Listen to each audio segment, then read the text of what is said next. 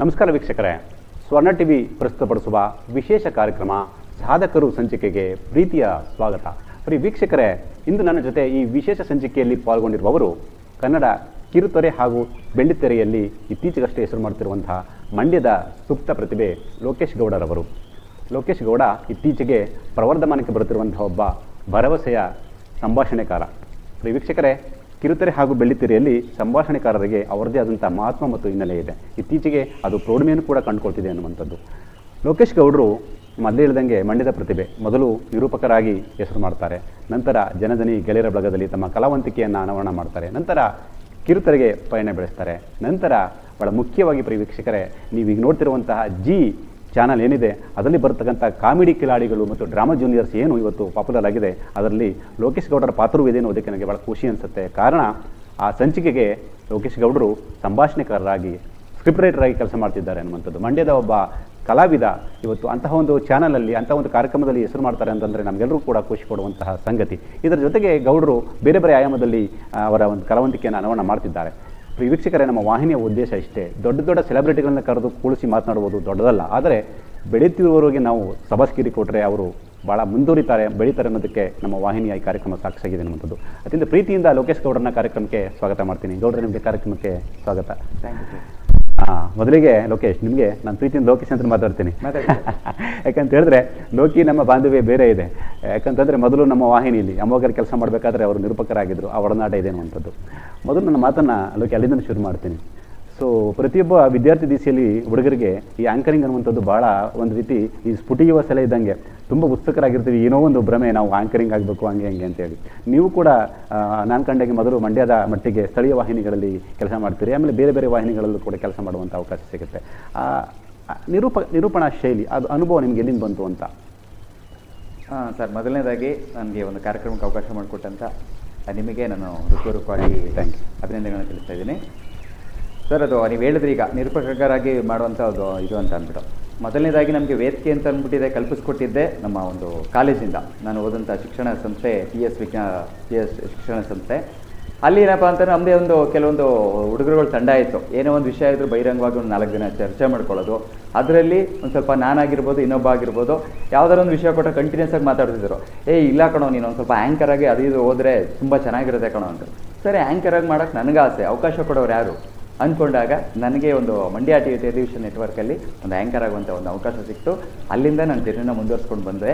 So ಎಲ್ಲರೂ ನನ್ನ ಪ್ರೀತಿಯಿಂದ ಆ್ಯಂಕರ್ ಲೋಕೆ ಆ್ಯಂಕರ್ ಲೋಕೆ ಅಂತಲೇ ಕರ್ಕೊಂಡು ಬಂದರು. ಅದು ತಮಗೂ ಗೊತ್ತಿರುವಂಥ ವಿಷಯ. ಖಂಡಿತ ಖಂಡಿತ. ಈ ಇದಕ್ಕೆ ಭಾಳ ಮುಖ್ಯವಾಗಿ ಈ ನಿರೂಪಣೆ ನಾನು ಮೊದಲು ಹೇಳಿದಂಗೆ ಒಬ್ಬ ಕಲಾವಿದನಿಗೆ ಒಂದು ವೇದಿಕೆ ಆಗುತ್ತೆ. ಸುತ್ತ ಪ್ರತಿಭೆಯನ್ನು ಅನಾವರಣ ಮಾಡೋದಕ್ಕೆ ಅದೊಂದು ವೇದಿಕೆ ಆಗುತ್ತೆ ಅನ್ನುವಂಥದ್ದು. ಬಹುಶಃ ನಿಮ್ಮ ಮುಂದಿನ ಇವತ್ತೇನು ಬೆಳೆದಿದ್ದೀರಿ ಬೆಳೀತಾ ಇದ್ದೀರಿ. ಇದಕ್ಕೆಲ್ಲ ನಿರೂಪಣೆ ನಿಮ್ಗೊಂದು ವೇದಿಕೆ ಆಯಿತಾ ಅಂತ? ಖಂಡಿತ ಸರ್. ಯಾರಿಗೇ ಆಗಲಿ ಒಂದು ವೇದಿಕೆ ಕೊಟ್ಟಾಗ್ಲೇ ಅವನು ಅನಾವರಣ ಆಗೋದು. ಅದಕ್ಕಿಂತ ಮುಂಚೆ ಈಗ ನಾನು ರಾಜ್ಕುಮಾರ್ ಥರ ಆಗಬೇಕು ಅನ್ಸುತ್ತೆ, ವಿಷ್ಣುವರ್ಧನ್ ಥರ ಆಗಬೇಕು ಅನ್ಸುತ್ತೆ, ಜಗ್ಗೇಶ್ವರ್ ಥರ ಆಗಬೇಕು ಅಂತ ಈಗ ಏನೇನೋ ಅಂದ್ಕೊಳ್ತೀವಿ ಅದು ನನ್ನೊಳಗಡೆ ಇದ್ದರೆ ಯಾವುದೇ ಕಾರಣಕ್ಕೂ ಹೊರಗಡೆ ಬರಲ್ಲ. ಒಂದು ವೇದಿಕೆ ಅಂತ ನಿರ್ಮಾಣ ಮಾಡಿಕೊಟ್ಟಾಗ್ಲೇ ಅದು ಅನಾವರಣ ಆಗೋದು. ಆ ಒಂದು ವೇದಿಕೆಗೆ ನಾನು ಕೊಟ್ಟಿದ್ದೆ, Mandya T V channel. So ನಿರೂಪಕನಾಗಿ ಅಲ್ಲಿಂದ ಮುಂದುವರ್ಸ್ಕೊಂಡು ಬಂದೆ. ಹಾಗಾಗಿ ನನ್ನ ಒಂದು ಪ್ರತಿಭೆ ಅಲ್ಲಿಂದ ಹೊರಗಡೆ ಬಂತು ಅಂತ ಹೇಳ್ಕೊಳಕ್ಕೆ ಇಷ್ಟಪಡ್ತೀನಿ. ಇತ್ತೀಚೆಗೆ ನಮ್ಮ ಯುವಕರು ತುಂಬ ಜನ, ನಮ್ಮ ವಾಹಿನಿ ಪಾಪ ತುಂಬ ಜನ ಅವರು ಕೆಲಸ ಮಾಡ್ತಿರ್ತಾರೆ. ಬದ್ಧತೆ ಇದೆ, ಶಿಸ್ತಿದೆ. ಸೊ ನಿಮ್ಮಲ್ಲೂ ಆ ಶಿಸ್ತಿತ್ತು ಅನ್ನುವಂಥದ್ದು. ಇವತ್ತಿನ ಈ ತಲೆಮಾರಿನ ಯುವಕರು ನಿರೂಪಣೆ ಬರ್ತಾರಲ್ಲ ಅವ್ರಿಗೇನಾದರೂ ಒಂದು ಸಣ್ಣ ಕಿವಿ ಮಾತು ಹೇಳಬೇಕು ಅನ್ಸುತ್ತೆ ನಿಮಗೆ ಈ ಸಂದರ್ಭಕ್ಕೆ? ಸರ್ ಹೇಳಬೇಕು ಅನಿಸುತ್ತೆ. ಅಂದರೆ ಏನಪ್ಪ ಅಂತಂದರೆ ಈಗ ನಾವೆಲ್ಲ ಆ್ಯಂಕರಾಗಿ ವರ್ಕ್ ಮಾಡಬೇಕಾದ್ರೆ ಒಂದು ವಿಷಯನ ಇಟ್ಕೊಂಡು ಅಂತಂದ್ರೆ ಈಗ ಕಾಫಿ ಆಯಿತಾ ತಿಂಡಿ ಆಯಿತಾ ಅಂತ ಕೇಳೋದ್ರ ಜೊತೆಗೆ ಸೊ ಈಗ ನಮ್ಮ ಸುತ್ತಮುತ್ತ ಆ ದಿನದಲ್ಲಿ ಏನೇನು ನಡೆಯುತ್ತೆ? ಸೊ ಎಲ್ಲೋ ಒಂದು ಕಡೆ ಇಂಟರ್ವ್ಯೂ ಇರುತ್ತೆ, ಎಲ್ಲೋ ಒಂದು ಕಡೆ ಯಾವುದೋ ಒಂದು ಒಳ್ಳೆ ಕಾರ್ಯಕ್ರಮ ಇರುತ್ತೆ. ಆ ವಿಷಯಗಳು ಯಾರಿಗೂ ಮನೇಲಿ ಇರೋರು ಗೊತ್ತಿರೋದಿಲ್ಲ. ಬರೀ ನೀವು, ಹಾಯ್, ಹಲೋ, ನಮಸ್ಕಾರ, ಕಾಫಿ ಆಯ್ತಾ, ತಿಂಡಿ ಆಯ್ತಾ? ಅಂತಂದರೆ ಅವ್ರು ಹೇಳ್ತಾರೆ, ಅಷ್ಟೇ ಮುಗೀತು. ಅದನ್ನು ಅವ್ರು ಟಿ ವಿಗೆ ಕಾಲ್ ಮಾಡಿಬಿಟ್ಟಿದ್ದು ಹೇಳೋ ಅವಶ್ಯಕತೆನೇ ಇಲ್ಲ. ಅಲ್ಲೇ ಹೇಳ್ಬೋದು. ಸೊ ನಾವು ಅದು ಕೇಳಿದ್ರ ಜೊತೆಗೆ ಇಲ್ಲಿ ಒಂದು ಈ ರೀತಿ ಉದ್ಯೋಗ ಕಾರ್ಯಕ್ರಮ ನಡೀತಾ ಇದೆ. ಯಾವುದೋ ಒಂದು ಒಂದು ಸಂಸ್ಥೆಯಿಂದ ಒಂದು ಒಳ್ಳೆ ಒಂದು ಏನಪ್ಪ ಅಂತಂದರೆ ಉಪಯೋಗ ಆಗುವಂಥ ಒಂದು ಕಾರ್ಯಕ್ರಮ ಇಟ್ಕೊಂಡಿದ್ದಾರೆ ಅಂತ ವಿಷಯ ತಿಳಿಸಿದಾಗ ಅದು ರೀಚ್ ಆಗುತ್ತೆ. ಏ, ಇಲ್ಲ, ಹುಡುಗ, ಕಾರ್ಯಕ್ರಮ ನಡೆಸ್ಕೊಡೋದು ಅಷ್ಟೇ ಇಲ್ಲ. ಈ ರೀತಿ ಒಂದು ಒಳ್ಳೊಳ್ಳೆ ವಿಷಯಗಳು ನಮಗೆ ತಲುಪಿಸ್ತಾ ಇದ್ದಾನೆ. ಖಂಡಿತವಾಗ್ಲೂ ನಾನು ನೋಡಬೇಕು ಅಂತ. ಅದನ್ನು ಒಬ್ಬ ನಿರೂಪಕ ಅದನ್ನು ರೂಢಿಸ್ಕೊಡ್ಬೇಕು ಅಂತ ನಾನು ಹೇಳ್ತೀನಿ. ಖಂಡಿತ ವೀಕ್ಷಕರೇ, ಅದಕ್ಕೆ ನಾನು ಹೇಳ್ತೀನಿ ಅಂದರೆ ಯುವಕರು ಒಂದಷ್ಟು ಟಿಪ್ಸ್ಗಳು ಬೇಕಾಗ್ತದೆ ನಿರೂಪಕರಾಗಬೇಕು ಅಂತಂದರೆ. ಅದು ಚಿಕ್ಕವರಿರಲಿ, ದೊಡ್ಡವರಿರಲಿ, ಅದನ್ನು ನೋಡಿ ಕಲಿಯುವಂಥದ್ದು ಅನುಭವದ ಮೂಸಿಯಿಂದ ಕಲಿಯುವಂಥದ್ದು. ಹಂಗಾಗಿ ಆ ಪ್ರಶ್ನೆಯನ್ನು ನಿಮಗೆ ನಾನು ಕೇಳಬೇಕಾಗಿ ಬಂತು. ನಿರೂಪಣೆ ಆದಮೇಲೆ ನಿಮ್ಮ ಕ್ಷೇತ್ರ ಸ್ವಲ್ಪ ಬದಲಾಗುತ್ತೆ. ಮಂಡ್ಯದ ಜನದನಿ ಮತ್ತು ಗೆಳೆಯರ ಬಳಗ, ರಂಗತರಂಗ ಅನ್ನುವಂಥ ಅಭಿನಯದ ಒಂದಷ್ಟು ಕ್ಷೇತ್ರಗಳು. ಬಹಳ ಪ್ರಮುಖವಾಗಿ ಜನದನಿ ಗೆಳೆಯರ ಬಳಗ ಸಾವಿರಾರು ಕಲಾವಿದರನ್ನು ಹುಟ್ಟಾಕಿರುವಂಥದ್ದು ತುಂಬ ಜನ ಬೆಳೆದಿದ್ದಾರೆ, ತುಂಬ ಜನ ಹೆಸರು ಮಾಡಿದ್ದಾರೆ. ಕನ್ನಡ ಚಿತ್ರರಂಗದಲ್ಲಿ ಇವತ್ತು ದೊಡ್ಡ ದೊಡ್ಡ ಹೆಸರನ್ನು ಮಾಡಿ ಮಾಡಿರುವಂಥದ್ದು ಕೂಡ ನಮ್ಗೆ ಗೊತ್ತಿದೆ ಅನ್ನುವಂಥದ್ದು. ಜನದನಿ ಗೆಳೆಯರ ಬಳಗ, ವೈಯಕ್ತಿಕವಾಗಿ ನಿಮಗೆ ಲೋಕಿ. ಹೇಗೆ ಅದು ನಿಮಗೆ ಸಹಕಾರಿಯಾಯಿತು ನಿಮ್ಮ ಕಲಾವಂತಿಕೆಯನ್ನು ಅನಾವರಣ ಮಾಡೋದಕ್ಕೆ ಸರಿ, ಇಲ್ಲ, ನಮಗೆ ಅಭಿನಯ ಅನ್ನೋದು ಒಂದು ಎಲ್ಲೋ ಒಂದು ಕಡೆ ಕಾಡ್ತಿತ್ತು. ಎಲ್ಲರ ಥರ ನಾವು ಸ್ಟೇಜ್ ಮೇಲೆ ಕಾಣಿಸ್ಕೊಳ್ಬೇಕಪ್ಪ, ಹಾಗೆ ಹೀಗೆ ಅಂತ ಅಂದ್ಬಿಟ್ಟಿದೆ. ಬಟ್ ಯಾರು ಅವಕಾಶ ಕೊಡ್ತಾರೆ ಅಂತ ಗೊತ್ತಿರಲಿಲ್ಲ ಕಾಲೇಜ್ನಲ್ಲಿ ಇಂಟರ್ ಕಾಲೇಜ್ ಕಾಂಪಿಟೇಷನ್ ಅಂತ ಅಂದ್ಬಿಟ್ಟಿದೆ, ಒಂದು ಒಂದು ಡ್ರಾಮಾ ಮಾಡಬೇಕು ಅಂತ ಅಂದ್ಕೊಂಡ್ವಿ ಅವಾಗ ನಾನು ಗೆಳೆಯರೇ ಆಗಿರಬೇಕು ಶಶಿಧರ, ಶಶಿ ಅಪೂರ್ವ ಅಂತ ಅಂದ್ಬಿಟ್ಟು. ಅವರು ಒಂದು ಡ್ರಾಮಾ ತೊಗೊಂಡ್ರು, ದೇವರೇಣ ಅಂತ ಅಂದ್ಬಿಟ್ಟು. ಅದರಲ್ಲಿ ನಾನು ಒಂದು ಆ್ಯಕ್ಟ್ ಮಾಡಿದೆ. ಆ್ಯಕ್ಟ್ ಮಾಡಿದಾಗ ನನಗೆ ಅದರಲ್ಲಿ ಆ್ಯಕ್ಟಿಂಗ್ ನೋಡಿಬಿಟ್ಟಿದೆ. ನನ್ನ ಲೆಕ್ಚರ್ ಆದ ಸತೀಶ್ ಬಾಬು ಅವರು ನನಗೆ ಒಂದು ಟಿಪ್ಸ್ ಕೊಟ್ಟರು ಈ ರೀತಿ ಜನದನಿ ಅಂತ ಒಂದು ಸಂಸ್ಥೆ ಇದೆ. ಅಲ್ಲಿ ಒಂದು ಪ್ರತಿ ವರ್ಷ ನಾಟಕಗಳು ಮಾಡ್ತಾ ಇರ್ತಾರೆ, ಒಳ್ಳೊಳ್ಳೆ ನಿರ್ದೇಶಕರು ಬರ್ತಾರೆ. ಅಲ್ಲಿ ಹೋಗಿ ಲೋಕಿ ನಾನು ಜಯಪ್ರಕಾಶ್ ಗೌಡ ಹತ್ರ ಮಾತಾಡಿದ್ದೀನಿ ಅಂತ. ಸೊ ಅಲ್ಲಿ ಬಂದಾಗ ನನಗೆ ಒಂದು ಸುಲ್ತಾನ್ ಟಿಪ್ಪು ಅಂತ ಒಂದು ನಾಟಕ ನಡೀತಿತ್ತು. ನಾನು ಇನ್ನೂ ಅಲ್ಲಿಗೆ ಒಂದು ಅಂಬೆಗಾಲ್ ಇಟ್ಕೊಂಡು ಬಂದವನು. ಅದರಲ್ಲಿ ಆಗಲೇ ಆ ಸಂಸ್ಥೆನಲ್ಲಿ ಒಂದು ಹದಿನೈದು ಇಪ್ಪತ್ತು ವರ್ಷದಿಂದ ಆ್ಯಕ್ಟ್ ಮಾಡೋದಂಥ ಒಳ್ಳೊಳ್ಳೆ ನೃತ್ಯ ಕಲಾವಿದರುಗಳಿದ್ದರು ಅಲ್ಲಿ ನನಗೆ ಸುಲ್ತಾನ್ ಟಿಪ್ಪು ಅನ್ನೋ ಒಂದು ನಾಟಕದಲ್ಲಿ ಒಂದು ಸೈನಿಕನ ಕ್ಯಾರೆಕ್ಟರ್ ಸಿಕ್ತು. ಅಲ್ಲಿಂದ ನನ್ನ ರಂಗಭೂಮಿ ನಡಿಗೆ ಶುರುವಾಯಿತು. ಭಾಳ ಪ್ರಮುಖವಾಗಿ ನಿಮಗೆ ಬಾಲ್ಯದಿಂದಲೂ ಕೂಡ ಈ ಥರದೊಂದು ಕಲಾವಂತಿಕೆ ಇತ್ತು ಅಂತ ನಾನು ಕೇಳ್ಪಟ್ಟೆ. ಚಿಕ್ಕದ್ರಲ್ಲೇ ಒಂಥರ ಏನೋ ನಿಮ್ಮಲ್ಲಿ ನಿಮ್ಗೆ ಗೊತ್ತಿದ್ದೋ ಗೊತ್ತಿಲ್ಲದೆಯೋ ನಟನೆ ಗೇಳು ಬಂದಿತ್ತು ಅನ್ನುವಂಥದ್ದು. ಅದು ಮನೆಯವ್ರಿಗೂ ಕೂಡ ಗೊತ್ತಾಗಿತ್ತು ಹಂಗೆ ಅಂತೇಳಿ. ನಿಮ್ಮ ಮನೆಯಲ್ಲಿ ಏನಾದರೂ ಅವರು ಯಾಕಂತಂದರೆ ಕೆಲವು ಸರಿ ನಾನು ಹೇಳಿದಂಗೆ ಗಾಡ್ ಫಾದರ್ ಅಥವಾ ಮನೇಲಿ ಯಾರಾದರೂ ಕಲಾವಿದರಿದ್ದರೆ ಅದು ರಕ್ತಗತ ಬಂದ್ಬಿಡುತ್ತೆ ಅಂತೆ. ಸೊ ಅದು ತುಂಬ ಜನ ನೋಡಿದ್ದೀವಿ ನಾವು. ಸೊ ನಿಮಗೇನಾದರೂ ಮನೆಯಲ್ಲಿ ಆ ಥರದ ಹಿನ್ನೆಲೆ ಇತ್ತು? ಯಾರಾದರೂ ಮನೇಲಿ ಆರ್ಟಿಸ್ಟ್ ಇದ್ರಾ ಅಂತ? ಸರ್ ಇಲ್ಲ. ಮನೆಯಲ್ಲಿ ಯಾರು ಆ ಥರ ಆರ್ಟಿಸ್ಟ್ ಇಲ್ಲ. ಒಂಥರ ಹೇಳ್ಕೊಳಕ್ಕೆ ಫನಿ ಆಗುತ್ತೆ. ನಮ್ಮ ತಂದೆ ಇದ್ದರು ನಮ್ಮ ತಂದೆ ಇದ್ದರು ಅಂತಂದರೆ ಅವ್ರು ಕಲಾವಿದರಲ್ಲ. ಅಂದರೆ ವೃತ್ತಿಯಲ್ಲಿ ಅವರು ಡ್ರೈವರು. ಡ್ರೈವರ್ ಆದಮೇಲೆ ಸಂಜೆ ಮೈಕೋ ಮೈಕೈ ಎಲ್ಲ ತುಂಬ ನೋಯೋ ನೋಯುತ್ತಲ್ಲ ಅಂತ ಅಂದ್ಬಿಟ್ಟಿದೆ ಲೈಟಾಗಿ ತಗೊಳ್ತಿದ್ರು. ತಗೊಂಡಾಗ ಅವ್ರ ಬಾಯಿಂದ ವಿಶೇಷವಾಗಿ ಒಂದು ಹಾಡುಗಳು ಬರ್ತಿತ್ತು. ಅದನ್ನು ಕೇಳೋಕ್ಕೆ ಒಂಥರ ಫನ್ನಿ ಆಗಿತ್ತು. ಇವರೇ ಇಷ್ಟೊಂದು ಚೆನ್ನಾಗಿ ಆಡಬೇಕಾದ್ರೆ ನಾವು ಇನ್ನೆಷ್ಟು ಚೆನ್ನಾಗಿ ಆಡ್ಬೋದು ಅಂದ್ಕೊಂಡು ನಾನು ನನ್ನ ತಮ್ಮ ಸಿನಿಮಾಗಳು ಆ ದಿನ ಸಿನಿಮಾಗಳು ಏನು ಬರುತ್ತೆ ಟೇಪ್ ರೆಕಾರ್ಡ್ನಲ್ಲಿ ಕ್ಯಾಸೆಟ್ನಲ್ಲಿ ಅದು ಕೇಳಿಕೊಂಡು ನಾವು ನಾವು ಆಡೋಕ್ಕೆ ಸ್ಟಾರ್ಟ್ ಮಾಡೋದು ಒಂದು ಡೈಲಾಗ್ಗಳು ಹೇಳಕ್ಕೆ ಸ್ಟಾರ್ಟ್ ಮಾಡ್ತಾ ಇದ್ವಿ. ಅದಿತ್ತು. ಇನ್ನು ಮನೆಯಲ್ಲಿ ಕೇಳಿದ್ರೆ ಸುಮ್ಮನೆ ಹೋಗಿ ಕೆಲಸ ನೋಡು ಹತ್ ಕಡೆ ಓದ್ಕೊಂಡು ಓದೋದ್ರ ಕಡೆ ಗಮನ ಕೊಡು ಅಂತ ರೇಗಿಸ್ತಿದ್ರು. ಬಟ್ ಏನೋ ನಮ್ಮ ಅದೃಷ್ಟ ಅಂತ ಅನಿಸುತ್ತೆ. ಈ ರೀತಿ ಒಂದು ರಂಗಭೂಮಿ ಒಂದು ಅವಕಾಶ ಮಾಡಿಕೊಡ್ತೀವಿ. ಖಂಡಿತ ಖಂಡಿತ. ಈ ನಿರೂಪಣೆ ಆದ ನಂತರ ಇವತ್ತು ನಿಮಗೆ ಒಂದು ಒಳ್ಳೆಯ ಅವಕಾಶ ಸಿಗುತ್ತೆ ನನ್ನ ಪ್ರಕಾರ. ಕಿರುತೆರೆಗೆ ಪ್ರವೇಶ ಆಗುತ್ತೆ. ಕಿರುತೆರೆ ಕೂಡ ಇವತ್ತು ಸಾಮಾನ್ಯವಾಗಿ ಉಳ್ಕೊಂಡಿಲ್ಲ. ಇವತ್ತು ಕಿರುತೆರೆ ಕೂಡ ಬೃಹದಾಕಾರವಾಗಿ ಬೆಳೀತಿರುವಂತಹ ಒಂದು ಅದ್ಭುತವಾದಂಥ ಒಂದು ಪ್ರವೇಶ ಅಂತ ಹೇಳ್ಬೋದು ಇವತ್ತು. ಯಾವ ಯಾವ ದೊಡ್ಡ ದೊಡ್ಡ ಹಾಲಿವುಡ್ಗಿಂತಲೂ ಕೂಡ ಹೆಚ್ಚಾಗಿ ಇವತ್ತು ಕಿರುತೆರೆ ಬೆಳೀತಿರುವಂಥದ್ದು. ಸೊ ಮೊದಲಿಗೆ ನಿಮಗೆ ಕಿರುತೆರೆ ಪ್ರವೇಶ ಆಗುತ್ತೆ. ಬಹುಶಃ ನೀವು ಮುಂದಿನ ಭವಿಷ್ಯಕ್ಕಾಗಿ ಹುಡುಕಾಟ ಮಾಡ್ತಿರೋ ಸಂದರ್ಭಕ್ಕೆ ಅದೊಂದು ಒಳ್ಳೆ ಎಂಟ್ರಿ ಅನಿಸುತ್ತೆ ನಿಮಗೆ. ಈ ಕಿರುತೆರೆಗೆ ನಿಮಗೆ ಅವಕಾಶ ಒದಗಿ ಬಂದಂಥ ಬಗೆ ಹೇಗೆ ಸರ್ ಮೊದಲನೇದಾಗಿ ಸೊ ಮಂಡ್ಯ ಟಿ ವಿನ ಇಲ್ಲಿ ಆ್ಯಂಕರ್ ಆಗಿ ನಾನು ಗುರುತಿಸ್ಕೊಂಡ್ಮೇಲೆ ಸಡನ್ ಆಗಿ ಅನ್ಎಕ್ಸ್ಪೆಕ್ಟೆಡ್ ಮದುವೆನೂ ಆಗೋಯಿತು. ಮದುವೆ ಆಗಿ ಈಗ ಲೈಫ್ ಹೆಂಗೆ ಲೀಡ್ ಮಾಡೋದು ಅಂತ ಅಂದ್ಕೊಳ್ತಾ ಇದ್ದೆ. ಇಲ್ಲ ನಿರೂಪಕನಾಗ ಕೆಲಸ ಮಾಡ್ತಾ ಇದೆ ಅದಕ್ಕೆ ತಕ್ಕಂಥ ಸಂಭಾವನೆ ಬರ್ತಿತ್ತು. ಸೊ ಬ್ಯಾಕ್ ಬೋನ್ ಆಗಿ ಅಮ್ಮ ಇದ್ದರು ಏನೋ ಮಾಡ್ಕೊಂಡು ಹೋಗ್ತಾ ಇದ್ರು. ಸೊ ಮದುವೆ ಆಗಿಬಿಟ್ಟಿದ್ದೀನಿ. ಈಗ ಎಷ್ಟು ದಿನ ಅಂತ ಅಂದ್ಬಿಟ್ಟು ಅಮ್ಮನ ದುಡಿಮೆನಲ್ಲಿ ನಾನು ಇರೋದು ಅಂತಂತ ಏನು ಮಾಡೋಣ ಏನು ಮಾಡೋಣ ಅಂತ ಅಂದ್ಕೊಳ್ತಾ ಇದ್ದೆ. ಆ ಮೂಮೆಂಟಲ್ಲಿ ನನಗೆ ಗೊತ್ತಿರೋ ಒಂದು ವಿದ್ಯೆ ಅಂತಂದರೆ ಆ್ಯಂಕರಿಂಗ್ ಒಂದೇ. ಸೊ ಯೂಟ್ಯೂಬ್ನಲ್ಲಿ ಕಾಲ್ ಮಾಡಿದರು ಉದಯ ಮ್ಯೂಸಿಕ್ನಲ್ಲಿ. ಆ್ಯಂಕರಿಂಗ್ಗೆ ಅಪ್ಲಿಕೇಶನ್ ಅಪ್ಲಿಕೇಶನ್ ಹೋಗಿ ಇಂಟರ್ವ್ಯೂ ಅಟೆಂಡ್ ಮಾಡ್ಕೊಂಡು ಬಂದೆ. ಅದು ಇನ್ನೂ ರಿಸಲ್ಟ್ ಬರೋದ್ರಲ್ಲಿತ್ತು. ಅದೇ ಟೈಮ್ನಲ್ಲಿ ರವಿ ಆರ್ ಗರ್ಣಿ ಅವರು ಅವರು ಮಿಸ್ಟರ್ ಮಿಸ್ಸಸ್ ರಂಗೇಗೌಡ ಅಂತ ಒಂದು ಸೀರಿಯಲ್ ಮಾಡ್ತಾಯಿದ್ರು. ಹೊಸ ಹೊಸದಾಗಿ ಶುರು ಮಾಡ್ತಾಯಿದ್ರು ಅದು ಮತ್ತು ಒಂದು ರಾಜಾರಾಣಿ ಅಂತ. ಅದಕ್ಕೆ ಸಂಭಾಷಣೆ ಬರೆಯೋ ಒಬ್ಬ ಬರಹಗಾರ ಬೇಕಾಗಿತ್ತು ಡೈಲಾಗ್ ರೈಟರ್ ಬೇಕಾಗಿತ್ತು. ನನಗೆ ನೋಡಿದೆ ನಾನು ಈ ರೀತಿ ಹೊಸ ಪ್ರತಿಭೆಗಳಿಗೆ ನಾವು ಅವಕಾಶ ಮಾಡಿಕೊಡ್ತೀವಿ. ಉತ್ಸಾಹದಲ್ಲಿರೋರು ಬಂದು ಮೀಟ್ ಮಾಡಿ ಅಂತ ಸರಿ, ನಾನು ಯಾಕೆ ಟ್ರೈ ಮಾಡಬಾರ್ದು ಅಂತ ಅಂದ್ಕೊಂಡೆ ಸೊ ಟ್ರೈ ಮಾಡೋದು ಓಕೆ ಈಗ ಹೇಗೆ ಹೋಗೋದು ಅವ್ರನ್ನ ಹೇಗೆ ಮೀಟ್ ಮಾಡೋದು? ಅವ್ರು ಮೊದಲೇ ಸ್ಟಾರ್ ಡೈರೆಕ್ಟ್ರು ಸ್ಟಾರ್ ನಿರ್ಮಾಪಕರು. ಸೊ ಆ ಒಂದು ಅವಕಾಶ ಮಾಡಿಕೊಟ್ಟಿದ್ದು ನನಗೆ ಬೇರೆ ಯಾರೂ ಅಲ್ಲ. ನನ್ನ ಗೆಳೆಯ, ಆತ್ಮೀಯ ಅಂತ ಹೇಳ್ಬೋದು ವಿಶಾಲ್ ರಘು. ಸೊ ಈಗ ಏನು ನಮ್ಮ ಮಂಡ್ಯ ಕ್ಷೇತ್ರದ ಎಂ ಎಲ್ ಎ ಇದ್ದಾರೆ ಶ್ರೀನಿವಾಸ್ ಅವರು. ಅವರ ಅಳಿಯ ವಿಶಾಲ್ ರಘು ಅವರು. ಅವರು ನಾನು ಆತ್ಮೀಯವಾಗಿ ಚ ಚೈಲ್ಡ್ಹುಡ್ ಫ್ರೆಂಡ್ಸ್ ಆಗಿರ್ಬೋದು ಕ್ಲಾಸ್ ಡಿಗ್ರಿ ಕ್ಲಾಸ್ಮೇಟ್ಸ್ ಆಗಿರ್ಬೋದು, ಅವ್ರು ನನಗೊಂದು ಅವಕಾಶ ಕೊಟ್ಟರು ಅಂದರೆ ಆಲ್ರೆಡಿ ಅವ್ರು ಆಲ್ರೆಡಿ ಪ್ರೌಡ್ ಆರ್ಟಿಸ್ಟ್ ಆಗಿದ್ದರು ಅವ್ರಿಗೆ ಹೇಳ್ಕೊಂಡೆ ಈ ರೀತಿ ಅಂತ ಅಂದ್ಬಿಟ್ಟಿದೆ. ಹೋಗಿ ಲೋಕಿ, ನಾನು ಮಾತಾಡಿದ್ದೀನಿ ನೀವು ಅಟೆಂಡ್ ಮಾಡಿ ಅಂತಂದರು ಸೊ ಬಂದೆ, ಅವರೊಂದು ನನಗೆ ಒಂದು ಡೈಲಾಗ್ ರೆಫರೆನ್ಸ್ ಕೊಟ್ಟರು ಇದು ಒಂದು ಸೀಕ್ವೆನ್ಸ್ ಹೇಳಿದ್ರು, ಇದಕ್ಕೆ ಬರೀರಿ ಅಂತ ಅಂದ್ಬಿಟ್ಟಿದೆ. ಬರೆದು, ಬರೆದಾಯಿತು, ಬರೆದು ಕೊಟ್ಟೆ. ಅವ್ರು ಕೊಟ್ಟ ತಕ್ಷಣ, ಆಯಿತು, ನಾವು ಹೇಳ್ಕಳಿಸ್ತೀವಿ ಅಂತಂದರು ಬಿಡಪ್ಪ, ಇದಿಷ್ಟೇ ಹಣೆ ಬರ ನಮಗೆಲ್ಲಿ ಸಿಗುತ್ತೆ. ಅಂದ್ಕೊಂಡು ಸೊ ನಾನು ವಾಪಸ್ ಬರ್ತಾ ಇರಬೇಕಾದ್ರೆ, ಸೊ ನನಗೆ ಯೂಟ್ಯೂಬಿಂದ ಆಫ್ ಕಾಲ್ ಬಂತು. ಹಿಂಗೆ ನೀವು ಆ್ಯಂಕರಾಗಿ ಸೆಲೆಕ್ಷ ಸೆಲೆಕ್ಷನ್ ಆಗಿದ್ರೆ ಸೋಮವಾರ ಹನ್ನೊಂದು ಗಂಟೆಗೆ ಬಂದು ಮೊದಲನೇ ಕಾರ್ಯಕ್ರಮ ಮಾಡಬೇಕು ಅಂದ್ಕೊಂಡು ತುಂಬ ಖುಷಿಯಾಗಿದೆ ಅವತ್ತು ರೆಡಿಯಾಗಿ ನಾನು ಮೊದಲನೇ ಕಾರ್ಯಕ್ರಮ ಕೊಡೋಣ ಅಂತ ಅಂದ್ಬಿಟ್ಟು ಪರವಾಗಿಲ್ಲಪ್ಪ, ಇವಾಗ ಅಷ್ಟೇ ಎಲ್ಲ ಕಡೆನೂ ನಾನು ನೋಡ್ತಾರೆ. ಸೊ ಬರೀ ಲೋಕಲ್ ಚಾನಲಲ್ಲಿ ಮಾಡಿದೆ, ಈಗ ನ್ಯಾಷನಲಾಗಿ ಮಾಡ್ತಿಲ್ಲ ಅಂತ ಖುಷಿಯಾಗಿ ಹೋಗ್ತಾ ಇದ್ದೆ ಅದೃಷ್ಟ ಅಂತ ಮತ್ತೆ ರವಿಗರ್ಣಿಯವರಿಂದ ಕಾಲ್ ಬಂತು ಆಫೀಸಿಂದ. ಲೋಕಿಯವರೇ ಸಡನ್ನಾಗಿ ಈಗ ಇಮಿಡಿಯೇಟಾಗಿ ನಮ್ಮ ಆಫೀಸ್ ಬನ್ನಿ ರಾಜಾಜಿನಗರಕ್ಕೆ ಅಂತಂದರು ಏನಿದೆ ಇವ್ರು ಕಾಲ್ ಮಾಡ್ತಾವ್ರೆ? ಆಗಲೇ ಹತ್ತು ಕಾಲಾಗಿದೆ ಇನ್ನು ಮುಕ್ಕಾಲು ಗಂಟೆ ನಾನು ಅಲ್ಲಿ ಇರಬೇಕಲ್ಲ ಅಂದ್ಕೊಂಡು ಇರಲಿ ನೋಡೋಣ ಅಂದ್ಕೊಂಡು ಅಲ್ಲಿಗೆ ಹೋದೆ. ಹೋದಾಗ ಅಲೋಕಿ ಅವರೇ, ಈ ಮಿಶ್ರಣ ಮಿಸ್ಸಸ್ ರಂಗೇಗೌಡ ಏನು ಒಂದು ಧಾರಾವಾಹಿ ಇದೆ. ಇದಕ್ಕೆ ನೀವೇ ಡೈಲಾಗ್ ರೈಟರ್ ಆಗಿ ವರ್ಕ್ ಮಾಡಿ ಅಂತ ಒಂದು ಕಡೆ ಹೇಳ್ಕೊಳಕ್ಕಾಗೋದು ಆಗ್ದಿರುವಂಥ ಒಂದು ಖುಷಿ. ಓ, ಅಂತ ಹಸ್ದವನಿಗೆ ಒಂದೇನಾದರೂ ಒಂದು ಬಾಳೆಹಣ್ಣು ಸಿಕ್ಕೋದ್ರೆ ಬಾಳೆಹಣ್ಣು, ಬ್ರೆಡ್ ಸಿಕ್ಕಿದ್ರೆ ಓಕೆ. ಬಾಳೆಹಣ್ಣು, ಬ್ರೆಡ್ ಜೊತೆಗೆ ಭಕ್ಷ್ಯ ಭೋಜನ ಎಲ್ಲ ಸಿಕ್ಬಿಟ್ರೆ ಅವ್ನಿಗೆ ಹೆಂಗಾಗಬೇಕು ಈ ಕಡೆ ಆ್ಯಂಕರ್ ಕೂಡ, ಈ ಕಡೆ ಡೈಲಾಗ್ ರೈಟು ಆಮೇಲೆ ಅಂದ್ಕೊಂಡೆ ಯಾವ್ದಾದ್ರು ಒನ್ ಡಿಸೈಡ್ ಮಾಡಿಕೊಂಡು ಒಂದು ದಾರಿನಲ್ಲಿ ಹೋಗೋಣ ಅಂದ್ಕೊಂಡು ಅವಾಗ ಅನ್ನಿಸ್ತು ಇದನ್ನು ಆ್ಯಂಕರ್ ಆಗಿ ಎಲ್ಲರೂ ನೋಡಿದ್ದಾರೆ ಮತ್ತೆ ಆ್ಯಂಕರ್ ಆಗಿ ಮಾಡೋದು ಅಯ್ಯೋ, ಮತ್ತೆ ಆ್ಯಂಕರಾಗಿ ಬಂದಲ್ಲಪ್ಪ ಅವನು ಅಂದ್ಕೊಳ್ಳೋದು ಬೇಡ. ಬರವಣಿಗೆಯಲ್ಲಿ ಮುಂದುವರಿಯೋಣ ಅಂತ ಅಂದ್ಬಿಟ್ಟಿದೆ. ಅಲ್ಲಿಂದ ನಾನು ಮಿಸ್ಟರ್ ಮಿಸ್ಸಸ್ ರಂಗೇಗೌಡಕ್ಕೆ ಬರೆಯೋಕ್ಕೆ ಅಂತ ಸ್ಟಾರ್ಟ್ ಮಾಡಿದೆ. ಸೊ ಅಲ್ಲಿನ ನನ್ನ journey Mister and Missus Rangegowda ಒಂದೂರಿನ Rajarani ಅವನು ಮತ್ತು ಶ್ರಾವಣಿ, ಅಮೃತ ವರ್ಷಿಣಿ. ಅದಾದಮೇಲೆ ಪ್ರಕಾಶ್ ಡೈರೆಕ್ಟ್ರು ಮಿಲನ ಪ್ರಕಾಶ್ ಅವರು ಕರೆದು ಕುಲವಧು ಸೀರಿಯಲ್ಗೆ ಬರೆಯೋದಕ್ಕೆ ಅವಕಾಶ ಕೊಟ್ಟರು ಅದಾದಮೇಲೆ ಶ್ರುತಿ ನಾಯ್ಡು ಅವರು ಶ್ರೀರೇಶ್ವರ ಶುಭಮಸ್ತು ಬರೆಯೋದಕ್ಕೆ ಅವಕಾಶ ಕೊಟ್ಟರು ಈಗ ಖಂಡಿತ ಖಂಡಿತ ಪ್ರಿಯ ವೀಕ್ಷಕರೇ, ರವಿ ಆರ್ ಗರಣಿಯವರ ಬಗ್ಗೆ ನಾನು ಮಾತು ಹೇಳಲೇಬೇಕು. ಕನ್ನಡ ಕಿರುತೆರೆಯಲ್ಲಿ ಅತಿ ದೊಡ್ಡ ಹೆಸರು. ರವಿ ಆರ್ ಗರಣಿ ಅಂತಂದರೆ ನಿಮಗೆ ಸಾಮಾನ್ಯ ಅಲ್ಲ, ಅವರ ಹೆಸರುಗಳು, ಅವರ ಧಾರಾವಾಹಿಗಳು, ಅತ್ಯಂತ ಪಾಪ್ಯುಲರ್ ಆದಂಥ ಧಾರಾವಾಹಿಗಳು. ಬಹುಶಃ ಮೊದಲಿಗೆ ಉದಯ ವಾಹಿನಿಯಲ್ಲಿ ಶುರುವಾದಂಥ ಅವರ ಆ ಒಂದು ಒಂದು ಅದ್ಭುತವಾದಂಥ ಚಲನಶಕ್ತಿ ಇವತ್ತಿಗೂ ಕೂಡ ಮುಂದುವರೆದಿದೆ ಅನ್ನುವಂಥ ಸಾಕಷ್ಟು ಕಲಾವಿದರನ್ನ ಬೆಳೆಸಿದ್ದಾರೆ. ವಿಶೇಷವಾಗಿ ಮಂಡ್ಯ ಜಿಲ್ಲೆಯ ಪ್ರತಿಭೆಗಳಿಗೂ ಕೂಡ ಅವರು ಅವಕಾಶಗಳನ್ನು ಕೊಟ್ಟಿದ್ದಾರೆ. ಅದರಲ್ಲಿ ವಿಷಯ ವಿಶಾಲ್ ರಘು ಹೆಸರು ಹೇಳಿದ್ರಿ. ಆ ವಿಶಾಲ್ ರಘುಗೂ ರವಿ ಅರ್ಗಣಿಗೂ ಒಂದು ದೊಡ್ಡ ನಂಟಿದೆ ಅನ್ನುವಂಥದ್ದು ಬಹಳ ಮುಖ್ಯವಾಗಿ ಲೋಕ್ಯವೇ ಆ, ರವಿ ಆರ್ ಗರಣಿ ಇರ್ಬೋದು ತಾವು ಹೇಳಿದಂಗೆ ಮಿಲನ ಪ್ರಕಾಶ್ ಅವರು ಇರ್ಬೋದು. ಕನ್ನಡ ಚಿತ್ರರಂಗದಲ್ಲಿ ಮಿಲನ ಪ್ರಕಾಶ್ ಕೂಡ ಅತ್ಯಂತ ದೊಡ್ಡ ಹೆಸರು ದೊಡ್ಡ ಹೆಸರು. ಬಹುಶಃ ಅಂತಹ ದೊಡ್ಡ ದೊಡ್ಡ ದಿಗ್ಗಜರ ಮತ್ತು ದಿಗ್ಗಜ ನಿರ್ದೇಶಕರ ಜೊತೆ ಕೆಲಸ ಮಾಡುವಾಗ ಹೇಗೆ ಅನು, ಹೇಗೆ ಹೇಗೆ ನಡ್ಸ್ಕೋತಾರೆ ನಿಮ್ಮನ್ನ? ನಿಮ್ಮ ಅವರ ಒಡನಾಟ ಹೇಗಿರುತ್ತೆ ಅಂತ. ಸರಿ, ಇಲ್ಲ. ಆದರೆ ಮೊದಲನೇದಾಗಿ ನಾವು ಹೊಸ, ಹೊಸಬ್ರಲ್ವಾ? ಹೊಸಬ್ರು ಹೋದವ್ರಿಗೆ ಒಂದು ಭಯ ಇರುತ್ತೆ. ಏನಪ್ಪ, ಹೇಗಪ್ಪ? ಸೊ, ಅವ್ರು ನಮ್ಮನ್ನು ಯಾವ ರೀತಿ ರಿಸೀವ್ ಮಾಡ್ಕೊಳ್ತಾರೋ, ಈಗ ನಾವು ಬರೆಯೋ ಬ, ಸಂಭಾಷಣೆ ಬಗ್ಗೆ ಆತ್ಮೀಯವ್ರು ತಗೊಳ್ತಾರೋ, ಇಲ್ಲ ಇದೇನು ರೀ ಹಾಗೆ, ಹೀಗೆ ಅಂತ, ಈ ರೀತಿ ಎಲ್ಲ ನಾನಾ ಥರ ಭಯಗಳಿರುತ್ತೆ ಅವ್ರ ಹತ್ರ ಹೇಗೆ ನಾನು ಮುಂದುವರ್ಕೊಂಡು ಹೋಗ್ಬೋದು ಅಂತ ಅಂದ್ಬಿಟ್ಟು ಬಟ್ ಈ ಮೂರು ವ್ಯಕ್ತಿಗಳ ಬಗ್ಗೆ ನಾನು ಹೇಳೋ, ಹೇಳೋದಾದರೆ, ಸೊ ರವಿ ಅರ್ಗಣಿ ಆಗಿರ್ಬೋದು, ಮಿಲನ್ ಪ್ರಕಾಶ್ ಆಗಿರ್ಬೋದು ಶ್ರುತಿ ನಾಯ್ಡು ಏನಾಗಿರ್ಬೋದು. ಮೊದಲನೇದಾಗಿ ಅವರು ತುಂಬ ಎಕ್ಸ್ಪೀರಿಯನ್ಸ್ ಏನಿದ್ದಾರೆ ಅವರೆಲ್ಲರನ್ನೂ ನೋಡೋ ಒಂದು, ನೋಡೋದೇ ಒಂಥರ. ಅಂದರೆ ಇವ್ರು ಆಲ್ರೆಡಿ ಪ್ರೂವ್ಡು ಸೊ ಇವ್ರಿಗೆ ನಾನು, ನಾವು ಮತ್ತೆ ಉತ್ತೇಜನ ಕೊಡೋದ್ರಲ್ಲಿ ಅರ್ಥ ಇಲ್ಲ. ಹೊಸಬ್ರು ಬೆಳೀತಾ ಇರುವಂಥ ಒಂದು ಪ್ರತಿಭೆಗಳನ್ನ ನಾವು ಪ್ರೋತ್ಸಾಹಿಸೋಣ.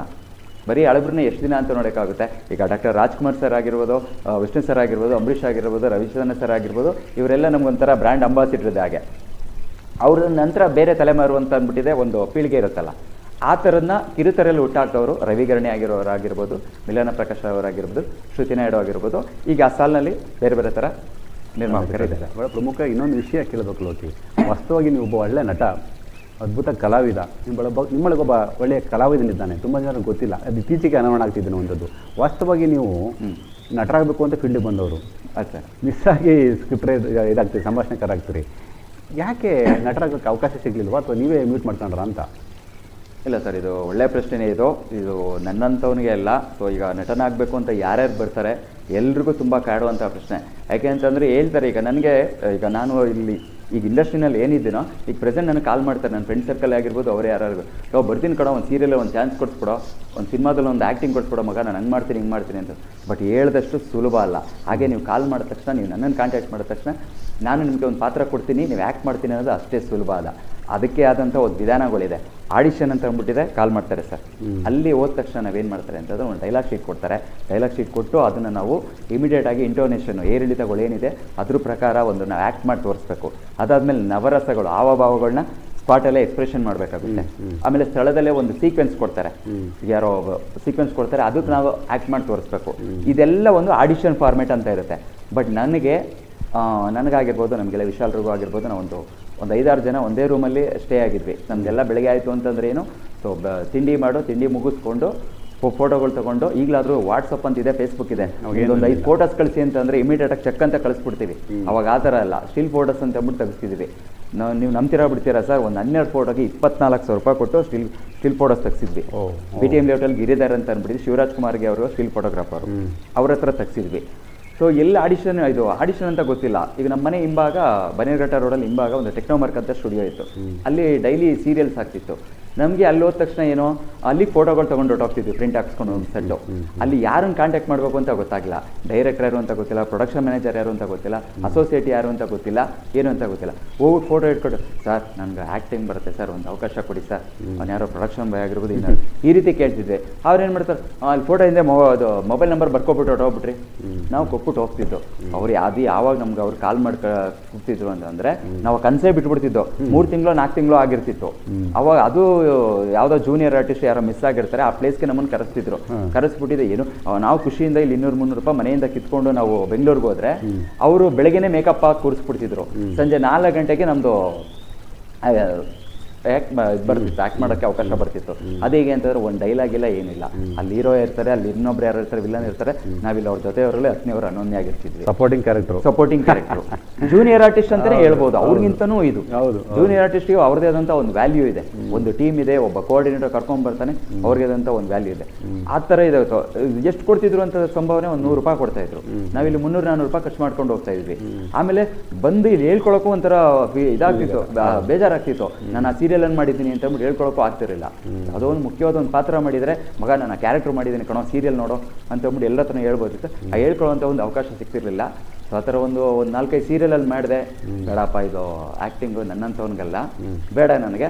ನಾನು ಹೊಸ್ಕಡಾಗಿ ಬ್ಯಾಕ್ ಟು ಪೆವಿಲಿಯನ್ನು ಕೆಲಸ ಮಾಡಿಕೊಂಡು ಹೊರಟೋಗೋಣ ಅಂದ್ಕೊಂಡು ಅಲ್ಲಿಗೆ ನಾನು ತಿಲಾಂಜಲಿ ಆಡ್ಬಿಟ್ಟು ವೀಕ್ಷಕರೇ ಇದು ಲೋಕಿಯವರ ಮಾತಲ್ಲ ಪ್ರತಿಯೊಬ್ಬ ಕಲಾವಿದನ ಅಂತರಾಳದ ಮಾತುಗಳು ಆ ಯಾತನೆಯ ಮಾತುಗಳು. ಒಬ್ಬ ಕಲಾವಿದ ಹುಟ್ಟಬೇಕಾದ್ರೆ ಎಷ್ಟು ಸಂಕಷ್ಟ ಪಡ್ತಾನೆ, ಮೇರು ಪರ್ವಕ್ಕೆ ಹೋಗ್ಬೇಕಾದ್ರೆ ಎಷ್ಟು ಸೈಕಲ್ ಹೊಡಿತಾನೆ ಅಂತಂದರೆ ನಿಮಗೆ ಗೊತ್ತಿರಲಿಕ್ಕಿಲ್ಲ. ಬಹುಶಃ ಲೋಕ್ಯಂತ ಕಲಾವಿದರು ಅದನ್ನು ಅನುಭವಿಸಿರ್ತಾರೆ, ಅದನ್ನು ನಿಮಗೆ ಆ ಭಾವನೆಗಳನ್ನ ಹಂಚ್ಕೊಳ್ತಾರೆ. ಯಾವುದೇ ಒಂದು ಕ್ಷೇತ್ರ ಅಷ್ಟು ಸುಲಭ ಅಲ್ಲ. ವಿಶೇಷವಾಗಿ ಗಾಂಧಿನಗರನ ಮಾಯಾ ಲೋಕ ಅಂತ ಕರೀತಾರೆ. ಅಷ್ಟು ಸುಲಭ ಅಲ್ಲ ಅದನ್ನು ಮುಟ್ಟೋದು, ಅಲ್ಲಿ ಹೆಸರು ಮಾಡೋದು. ಬಹುಶಃ ನಮ್ಮ ಮಂಡ್ಯದ ಪುಣ್ಯ ಇಂಥ ಕಲಾವಿದರು ಹೆಚ್ಚು ಹೆಚ್ಚು ತಮ್ಮ ಪರಿಶ್ರಮದ ಮೂಲಕ ಬೆಳೀತಿರುವಂಥದ್ದು, ನಮಗೆ ಖುಷಿ ಕೊಡುತ್ತೆ ಅನ್ನುವಂಥದ್ದು. ಓಕೆ ಮುಂದುವರೆದು ನೀವು ಒಳ್ಳೆಯ ಸಂಭಾಷಣೆಕಾರರಾಗಿ ಮುಂದುವರಿತಾ ಇದ್ದೀನಿ ಒಬ್ಬ ಯಶಸ್ವಿ ಸಂಭಾಷಣೆಕಾರನಿಗೆ ನಟನೆ ಜೊತೆಗಿದ್ದರೆ ನಟನೆ ಕೂಡ ಜೊತೆಗಿದ್ದರೆ ಅವರು ಎಷ್ಟು ಸಕ್ಸಸ್ಫುಲ್ ಆಗಿ ಸಂಭಾಷಣೆ ಬರಿಬೋದು ಅಂತ.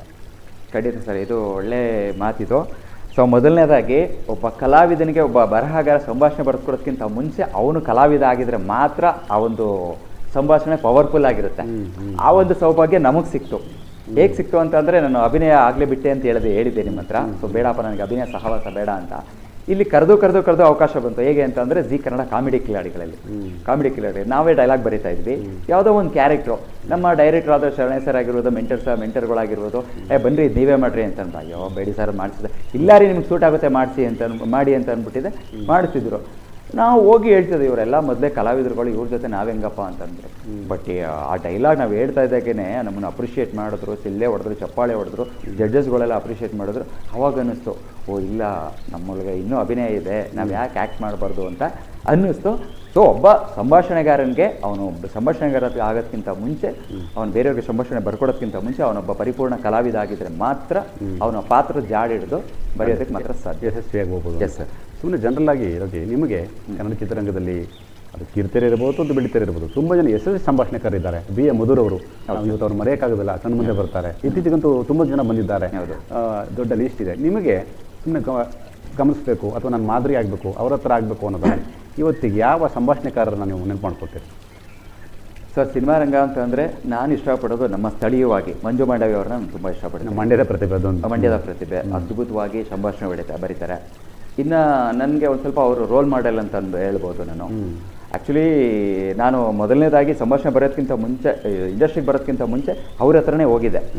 ಆ, ಇಲ್ಲೇ ಲಕ್ಷ್ಮೀ ಅರ್ಧನದ ಹತ್ರ ಅವ್ರ ಮನೆ ಅಲ್ವ? ಅವ್ರ ಹತ್ರ ಹೋಗಿದೆ ಅಣ್ಣ ನಾನು ಇಲ್ಲಿ ರೀತಿ ಒಂದು ಡೈಲಾಗ್ ಬರೀಬೇಕು ಅಂದ್ಕೊಂಡಿದ್ದೀನಿ. ಏನು ಓದ್ತಾ ಇದೆಯಾ? ಅಂತ ಅಂದ್ರು. ಹಿಂಗೆ ಡಿಗ್ರಿ ಮಾಡ್ತಾ ಇದ್ದೀನಿ ಅಂತ. ಫಸ್ಟ್ ಅದನ್ನು ಕಂಟಿನ್ಯೂ ಮಾಡ್ಕೊಂಡು ಆಮೇಲೆ ಬಾ ಅಂತ ಅಂದ್ಬಿಟ್ಟು ಹೇಳ್ಕೊ. ಅಂತ ಅಂದರೆ ಅವ್ರು ಹೇಳಿದ ಮಾತು ಕರೆಕ್ಟು ಜೀವನ ಪಾಠ ತಿಳ್ಕೊ. ಜೀವನ ತಿಳ್ಕೊಂಡು ಜೀವನ ತಿಳ್ಕೊಂಡ್ರೆ ದಾರಿ ಹೇಗೇನೋ ತಾನೇ ಗೊತ್ತಾಗುತ್ತೆ ಅಂತ ಹೇಳಿದರು. ಸೊ ಅದಾದಮೇಲೆ ನಾನು ಮತ್ತೆ ನಾನೊಬ್ಬ ಡೈಲಾಗ್ ರೈಟರಾಗಿ ಬರ್ತೀನಿ ಅಂತ ಅಂದ್ಬಿಟ್ಟು ಗೊತ್ತಾಗಲಿಲ್ಲ. ಆಮೇಲೆ ಅವರೇ ನನಗೆ ಒಂದಿನ ಮೆಸೆಂಜರಲ್ಲೇ ಮೆಸೇಜ್ ಹಾಕಿ ಅಪ್ರಿಷಿಯೇಟ್ ಮಾಡಿದರು. ಅದೊಂದು ಇದು. ಸೊ ಸಿನಿಮಾದಲ್ಲಿ ಅವ್ರು ನಾನು ರೋಲ್ ಮಾಡಲ್ ತಗೊಳ್ತೀನಿ ಇನ್ನು ಸೀರಿಯಲ್ ಇಂಡಸ್ಟ್ರಿ ಅಂತ ಬಂದರೆ ನನಗೆ ಒಬ್ಬ ಒಬ್ಬರು ಬರಹ ಕಳಿಸ್ ಕಳಿಸ್ಕೊಟ್ಟಂಥ ಒಬ್ಬರು ಗುರುಗಳಿದ್ದಾರೆ. ನಾನು ಬರವಣಿಗೆ ಬರೀತಿದ್ದೆ. ಅದರಲ್ಲಿ ತಿದ್ದಿ ತೀಡಿ ನನ್ನ ಒಂದು ಶಿಲೆ ಅಂತ ಮಾಡಿದವರು ಹರ್ಷಪ್ರಿಯ ಅಂತ ಅಂದ್ಬಿಟ್ಟಿದೆ ಭದ್ರಾವತಿ ಅವರು. ಸೊ ನನ್ನ ಗುರುಗಳು ಅಂತ ಹೇಳ್ಕೊಳ್ಳೋಕ್ಕೆ ನಾನು ಇಷ್ಟಪಡ್ತೀನಿ. ಇವತ್ತು ನಾನು ಈ ಸ್ಥಿತಿನಲ್ಲಿರ್ಬೋದು ನಾಳೆ ಒಂದು ಉನ್ನತವಾದ ಸ್ಥಿತಿಗೆ ಹೋದರೆ ಅವ್ರನ್ನ ನಾನು ನೆನ್ಕೊಳ್ತೀನಿ ನನಗೆ ಮೈಂಡಲ್ಲಿ ಬರೋ ಎರಡು ಹೆಸರು ಒಂದು ವಿಶಾಲ್ ರಘು ಅಂತ ಬರುತ್ತೆ ಇನ್ನೊಂದು ಹರ್ಷಪ್ರಿಯ ಭದ್ರಾವತಿ ಅಂತ ಬರುತ್ತೆ. ಅವರು ಸರ್ ಬರೀತಾರೆ ಬರೀತಾರೆ ಬರೀತಾರೆ ನೀವು ಮಂಡ್ಯ ಲ್ಯಾಂಗ್ವೇಜ್ ಕೊಡಿ ಉತ್ತರ ಕನ್ನಡ ಕೊಡಿ ಮಂಗಳೂರು ಕೊಡಿ. ಎನಿ ಒನ್ ಕೊಡಿ ಯಾವುದೇ ಒಂದು ಇದಿದ್ರು ಸ್ಥಿತಿ ಇದ್ರು ಅದಕ್ಕೆ ಉತ್ತಮವಾಗಿ ಸಂಭಾಷಣೆ ಬರೀತಿದ್ರು. ಅವ್ರು ನನಗೆ ಸ್ಫೂರ್ತಿ ಖಂಡಿತ ಖಂಡಿತ. ಬಹಳ ಪ್ರಮುಖವಾಗಿ ಇಲ್ಲಕ್ಕೆ ಬರವಣಿಗೆ ಹವ್ಯಾಸ ಯಾಕಂತಂದರೆ ನಿರೂಪಣೆ ಹಿಂದೆ ಇತ್ತು ನಮ್ಗೆ ಗೊತ್ತಿದೆ. ಈ ಬರವಣಿಗೆ ಹವ್ಯಾಸ ಹೆಂಗೆ ಬರವಣಿಗೆ ಹವ್ಯಾಸ ಯಾವ ರೀತಿ ಬಂತು ಅಂತ ನಿಮಗೆ? ಬರವಣಿಗೆ ಹವ್ಯಾಸ ಅಂತಂದ್ರೆ ಸರ್ ಇದು ಒಂಥರ ಫನ್ನಿ ಅಂತಲೇ ಅನ್ಸುತ್ತೆ. ಕಾಲೇಜ್ನಲ್ಲಿ ಲವ್ ಲೆಟರ್ ಜಾಸ್ತಿ ಬರೀತಿದ್ದೆ. ಓ ಹೋ ಹೋ. ಹ್ಞೂ ಡಿಗ್ರಿನಲ್ಲಿ ಲವ್ ಲೆಟರ್ ಬರೀತಿದ್ದೆ. ಅಂತಂದ್ರೆ ಬರೆದು ಯಾವ ಹುಡುಗಿಗೂ ಕೊಡುವಂಥ ಧೈರ್ಯ ನಮ್ಗೆ ಇರಲಿಲ್ಲ. ಬೇರೆಯವರಿಗೆಲ್ಲ ಬರ್ಕೊಡ್ತಿದ್ದೆ. ಸೊ ಬರೆಯೋದು ನೋಡ್ಬಿಟ್ಟಿದ್ದೆ ಫ್ರೆಂಡ್ಸ್ ಎಲ್ಲ ಇಷ್ಟಪಡ್ತಿದ್ರು. ಇವ್ನು ಚೆನ್ನಾಗಿ ಬರೀತಾನೆ ಅಂತ ಅಂದ್ಬಿಟ್ಟಿದ್ದೆ ಸೊ ನನ್ನ ಕೈಲಿ ಬರೆಸ್ಕೊಳ್ಳೋದು ಅವ್ರ ಲವ್ ಲೆಟರ್ ಕೊಡೋದು. ಅದೊಂದು. ಅದಾದ್ಮೇಲೆ ಕಾಲೇಜ್ನಲ್ಲಿ ನಮಗೆ ಪಚ್ಚತೆನೆ ಅಂತ ಅಂದ್ಬಿಟ್ಟಿದ್ದೆ ಕಾಲೇಜ್ನಲ್ಲಿ ಪ್ರತಿ ವರ್ಷ ಆರ್ಟಿಕಲ್ ಅಂತ ಮಾಡ್ತಿದ್ರು. ನಮ್ಮ ಪಿ ಎಸ್ ಕಾಲೇಜ್ನಲ್ಲಿ. ಅದಕ್ಕೆ ಆರ್ಟಿಕಲ್ ಬರೀತಾ ಇದ್ದೆ. ಅದಕ್ಕೆ ಆರ್ಟಿಕಲ್ ಬರೆಯೋದು. ಆಮೇಲೆ ನಾನೊಂಥರ ಒಂಥರ ಮೂಡಿ ಸರ್ ನಾನು. ಕಾಲೇಜ್ ಮುಗಿದ ತಕ್ಷಣ ಮನೆಗೆ ಹೋಗ್ಬಿಟ್ಟಿದ್ದೆ ರೂಮ್ ಬಾಗ್ಲಾಕೊಂಡ್ಬಿಡ್ತಿದ್ದೆ.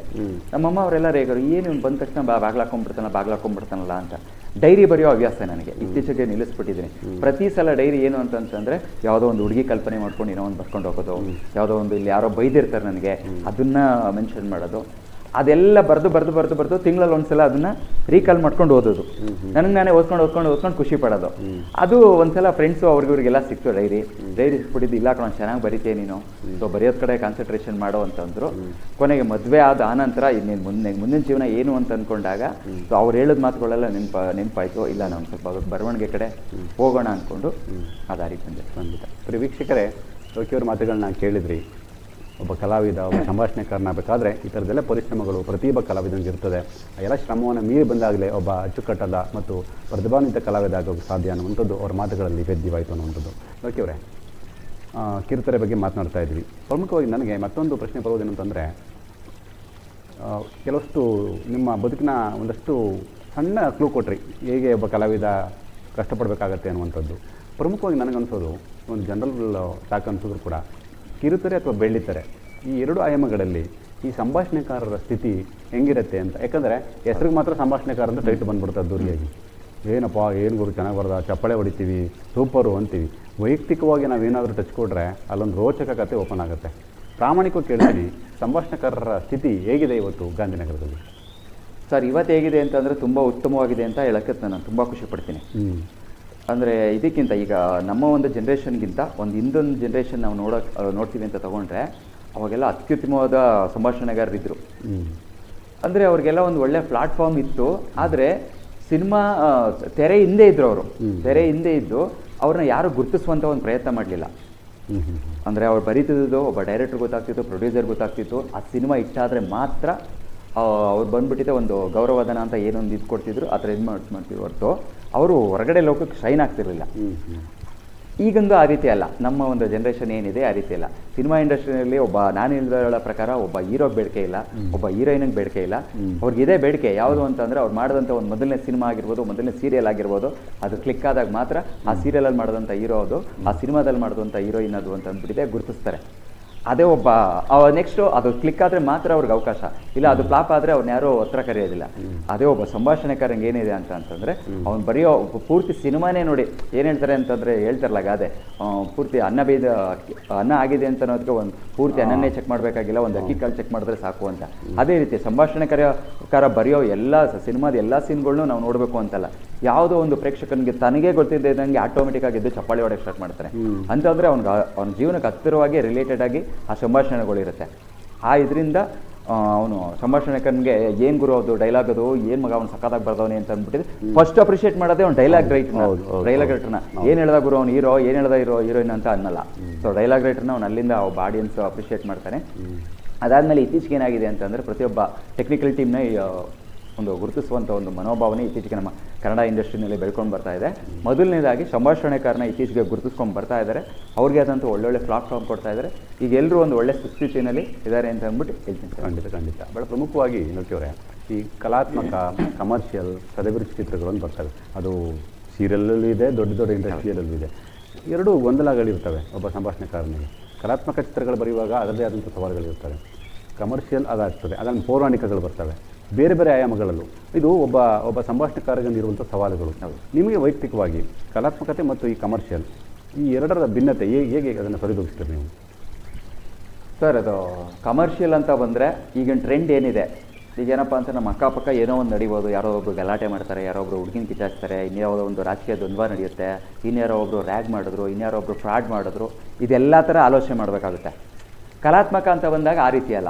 ಈಗ ಒಬ್ಬ ಬಸವಣ್ಣವ್ರ ಬಗ್ಗೆ ನಾವು ಮಾತಾಡ್ತೀವಿ ಅಂತಂದರೆ, ಅಂಬೇಡ್ಕರ್ ಅವ್ರ ಬಗ್ಗೆ ಮಾತಾಡ್ತೀವಿ ಅಂತಂದರೆ, ಇಂದಿರಾ ಗಾಂಧೀಜಿಯವ್ರ ಬಗ್ಗೆ ಮಾತಾಡ್ತೀವಿ ಅಂತಂದರೆ, ಅದು ಪೂರ್ತಿ ನಾವು ಅವ್ರ ಬಗ್ಗೆ ಅಧ್ಯಯನ ಮಾಡಬೇಕಾಗುತ್ತೆ. ಅದಕ್ಕೆ ಆದಂಥ ಬುಕ್ಸ್ಗಳು ನೋಡಬೇಕಾಗುತ್ತೆ ಸೊ ಸ್ಥಳೀಯರನ್ನ ಸೊ ಈಗ ಯಾರೋ ಒಬ್ಬ ಪ್ರಸಿದ್ಧಿ, ನಮ್ಮಲ್ಲೇ ಒಬ್ಬ ಪ್ರಸಿದ್ಧಿ ಆಗಿರ್ತಾರೆ, ಅವ್ರ ಬಗ್ಗೆ ಒಂದು ಸಿನಿಮಾ ಮಾಡ್ತೀವಿ ಅಂತಂತಂದರೆ, ಆ ವ್ಯಕ್ತಿ ಬಗ್ಗೆ ನಾವು ತಿಳ್ಕೊಳ್ಬೇಕು.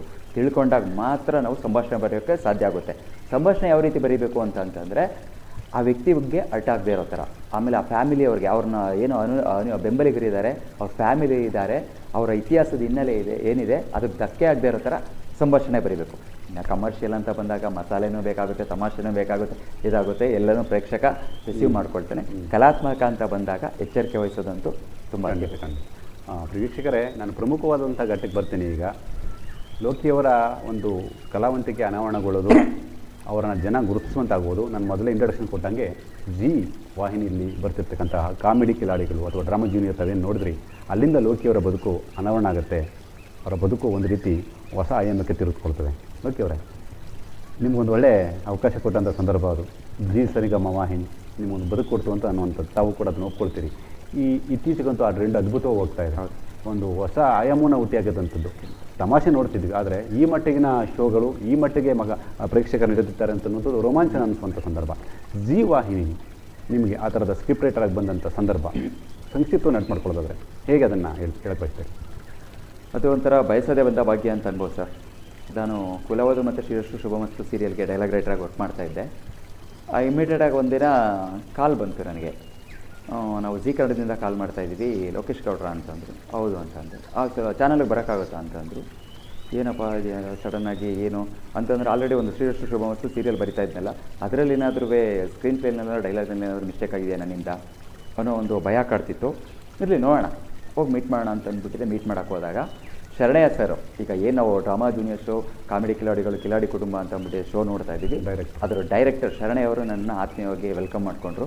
ಕರ್ಕೊಂಡು ರಾ- ನಮ್ಮ ಫಿಕ್ಷನ್ ಇಡ್ ಸಾರಿ ಚಾನಲ್ ಇಡೋ ರಾಘವೇಂದ್ರ ಹುಣಸೂರ್ ಹತ್ರ ಪರಿಚಯ ಮಾಡಿಸಿದ್ರು. ಈ ರೀತಿ ಬರಹಗಾರರು ಅಂತ ಅಂದ್ಬಿಟ್ಟಿದೆ. ಸೊ ಆ ಒಂದು ಚಾ, ಅದು ಕಾರ್ಯಕ್ರಮಕ್ಕೆ ನನ್ನ ರೆಫರ್ ಆಗಿ ಮಾಡಿದ್ದು ನಮ್ಮ, ನಾನು ಹೇಳಿದೆ ನನ್ನ ಗುರುಗಳು ಹರ್ಷಪ್ರಿಯ ಸರ್ ಅಂತ. ಅವ್ರು ನನ್ನನ್ನು ರೆಫರ್ ಮಾಡಿದ್ರು. ಹೇಳಿದ್ರು. ಅಂದರೆ ಆಲ್ರೆಡಿ ಹಿಂದಿನಲ್ಲಿ ಡ್ರಾಮಾ ಬಾಜಿ ಅಂತ ಅಂದ್ಬಿಟ್ಟು ಮಕ್ಕಳನ್ನ ಇಟ್ಕೊಂಡು ಒಂದು ಸದವಿರುಚ ಕಾರ್ಯಕ್ರಮ ನಡೀತಿತ್ತು. ಅದು ಆಲ್ರೆಡಿ ಮೊದಲನೇ ಸೀಸನ್ ಸಕ್ಸಸ್ ಆಗಿ ಎರಡನೇ ಸೀಸನ್ ನಡೀತಾ ಇತ್ತು. ಆ ರೀತಿ ಒಂದು ಕಾರ್ಯಕ್ರಮ ನಾವು ಯಾಕೆ ಮಾಡ್ಬೋದು? ಅಂದರೆ ರಂಗಭೂಮಿಗೆ ಹಿನ್ನೆಲೆಯಾಗಿ, ಅಂದರೆ ಮಕ್ಕಳಿಗೆ ಒತ್ತು ಕೊಡುವ ಥರ ಅಭಿನಯದ ಬಗ್ಗೆ ಒತ್ತು ಕೊಡೋ ಥರ ಒಂದು ಕಾರ್ಯಕ್ರಮ ನಾವು ಯಾಕೆ ಮಾಡಬಾರ್ದು ಅಂದ್ಕೊಂಡು ಇಲ್ಲಿ ಡ್ರಾಮಾ ಜೂನಿಯರ್ಸ್ ಅಂತ ಒಂದು ರಿಯಾಲಿಟಿ ಶೋ ಸ್ಟಾರ್ಟ್ ಮಾಡ್ತಾ ಇದ್ದೀವಿ ಸೊ ನೀವು ಬರೆಯೋಕ್ಕಾಗುತ್ತಾ? ಅಂತ ಅಂದರು. ಸರ್ ಖಂಡಿತ ನಿಮ್ಮ ಫಾರ್ಮ್ಯಾಟ್ ಏನು ಅಂತ ಹೇಳಿ ಸೊ ನಾನು ಬರೀತೀನಿ, ನಿಮ್ಗೆ ಓಕೆ ಆದರೆ ಆನಂತರ ಅಂತಂದರು ಅವ್ರು ಹೇಳಿದಾಗ ಒಂದು ಕಾನ್ಸೆಪ್ಟ್ ಕೊಟ್ಟರು ಅದನ್ನು ನಾನು ಬರದೆ, ತುಂಬ ಇಷ್ಟ ಆಯಿತು. ಸೊ ಚಾನಲ್ಗೆ ಮೊದಲನೇದಾಗಿ ಅದೊಂದು ಖುಷಿಯಿಂದ ಹೇಳ್ಕೊಳ್ತೀನಿ. ರೈಟರ್ ಅಂತ ಮೊದಲನೇ, ಮೊದಲನೇದವನಾಗಿ ಜಿ ಕನ್ನಡಕ್ಕೆ ರೈಟರ್ ಆಗಿ ಅಂತ ಬಂದಿದ್ದು ನಾನು ಬಂದೆ. ತದನಂತರ ನನ್ನ ಫ್ರೆಂಡ್ಸ್ ನಾಗೇಂದ್ರ ಅಂತ ಬಂದರು, ಮಂಜು ಅಂತ ಬಂದರು, ಆನಂದ್ ಅಂತ ಬಂದರು.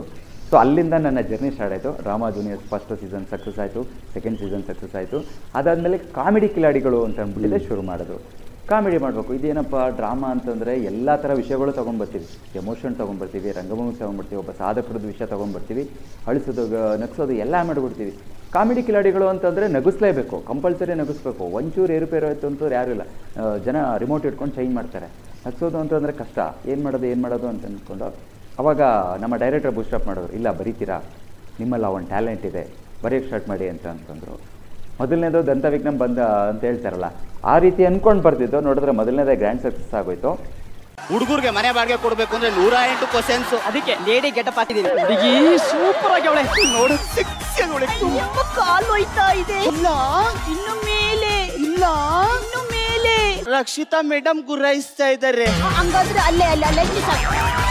ನಗು ಒಂದ್ ಕಡೆ ಬೆವರು ಎಲ್ಲ ಬರ್ತೀವಿ ಆ, ಎಲ್ಲಿ ಹೇಗೆ ಸಕ್ಸಸ್ ಆಯಿತು ಅಂತಂದರೆ ಅಲ್ಲಿಂದ ಅಲ್ಲಿ ಶುರು ಮಾಡಿದವರು ಇದುವರೆಗೂ ತಿರುಗಿ ನೋಡೇ ಇಲ್ಲ. ಸೊ ನನ್ನ ನಮ್ಮ ನನ್ನಲ್ಲೇ ಒಂದು ಒಂದು ಉತ್ಸಾಹ ಉಟ್ಕೊಳ್ತು ಇಲ್ಲ ನಾನು ಕಾಮಿಡಿ ಬರಿತೀನಿ ಅಂತ ಅಂದ್ಬಿಟ್ಟು. ಈಗ ನಾನು ಮೊದಲನೇದಾಗಿ ಏನಾದರೂ ಒಂದು ಆ್ಯಕ್ಚುಲಿ ನಂಬ ನಂಬ್ತಿರೋ ಬಿಡ್ತಿರೋ ಗೊತ್ತಿಲ್ಲ ಸರ್. ನನಗೆ ಈಗ ಬರೋ ಆ ಬರ್ತಿರೋ ಆಫರ್ಗಳೆಲ್ಲ ಸರ್ ಹಂಗೆ ಸಿನಿಮಾ ಮಾಡ್ತಾ ಇದ್ವಿ ಕಾಮಿಡಿ ಪೋರ್ಷನ್ಸ್ ಇದೆ ಬರ್ಕೊಡ್ತೀರಾ ಬರ್ಕೊಡ್ತೀರಾ ಬರ್ಕೊಡ್ತೀರಾ ಅಂತ. ಯಾರು ಬೇರೆ ಕೇಳ್ತಾನೆ ಇಲ್ಲ ಕಾಮಿಡಿನೇ ಕೇಳ್ತಾರೆ. ಕಾಮಿಡಿ ಫಿಕ್ಸ್ ಆಗಿದ್ದೀರಿ ಅನ್ನೋದು ಅಲ್ಲಿಂದ ಖಂಡಿತ ಭಾಳ ಅದೇ ಪ್ರಮುಖವಾನ್ಸೋದು ಮುಖದಲ್ಲಿ ನೀವು ಹೇಳಿದಂಗೆ ನವರಸಗಳು ಪ್ರತಿಯೊಬ್ಬ ಕಲಾವಿದನಿಗೂ ಬೇಕು. ಕೆಲವೊಮ್ಮೆ ಸಿಟ್ಟನ್ನು ತರ್ಬೋದೇನೋ. ಆದರೆ ಆಶ್ಚರ್ಯವನ್ನು ತರೋದಿದೆಯಲ್ಲ? ನಗುವಿನ ಮೂಲಕ ಪ್ರೇಕ್ಷಕರನ್ನು ನಗಿಸೋದಿದೆಯಲ್ಲ? ಅಷ್ಟು ಸುಲಭದ ಮಾತಲ್ಲ.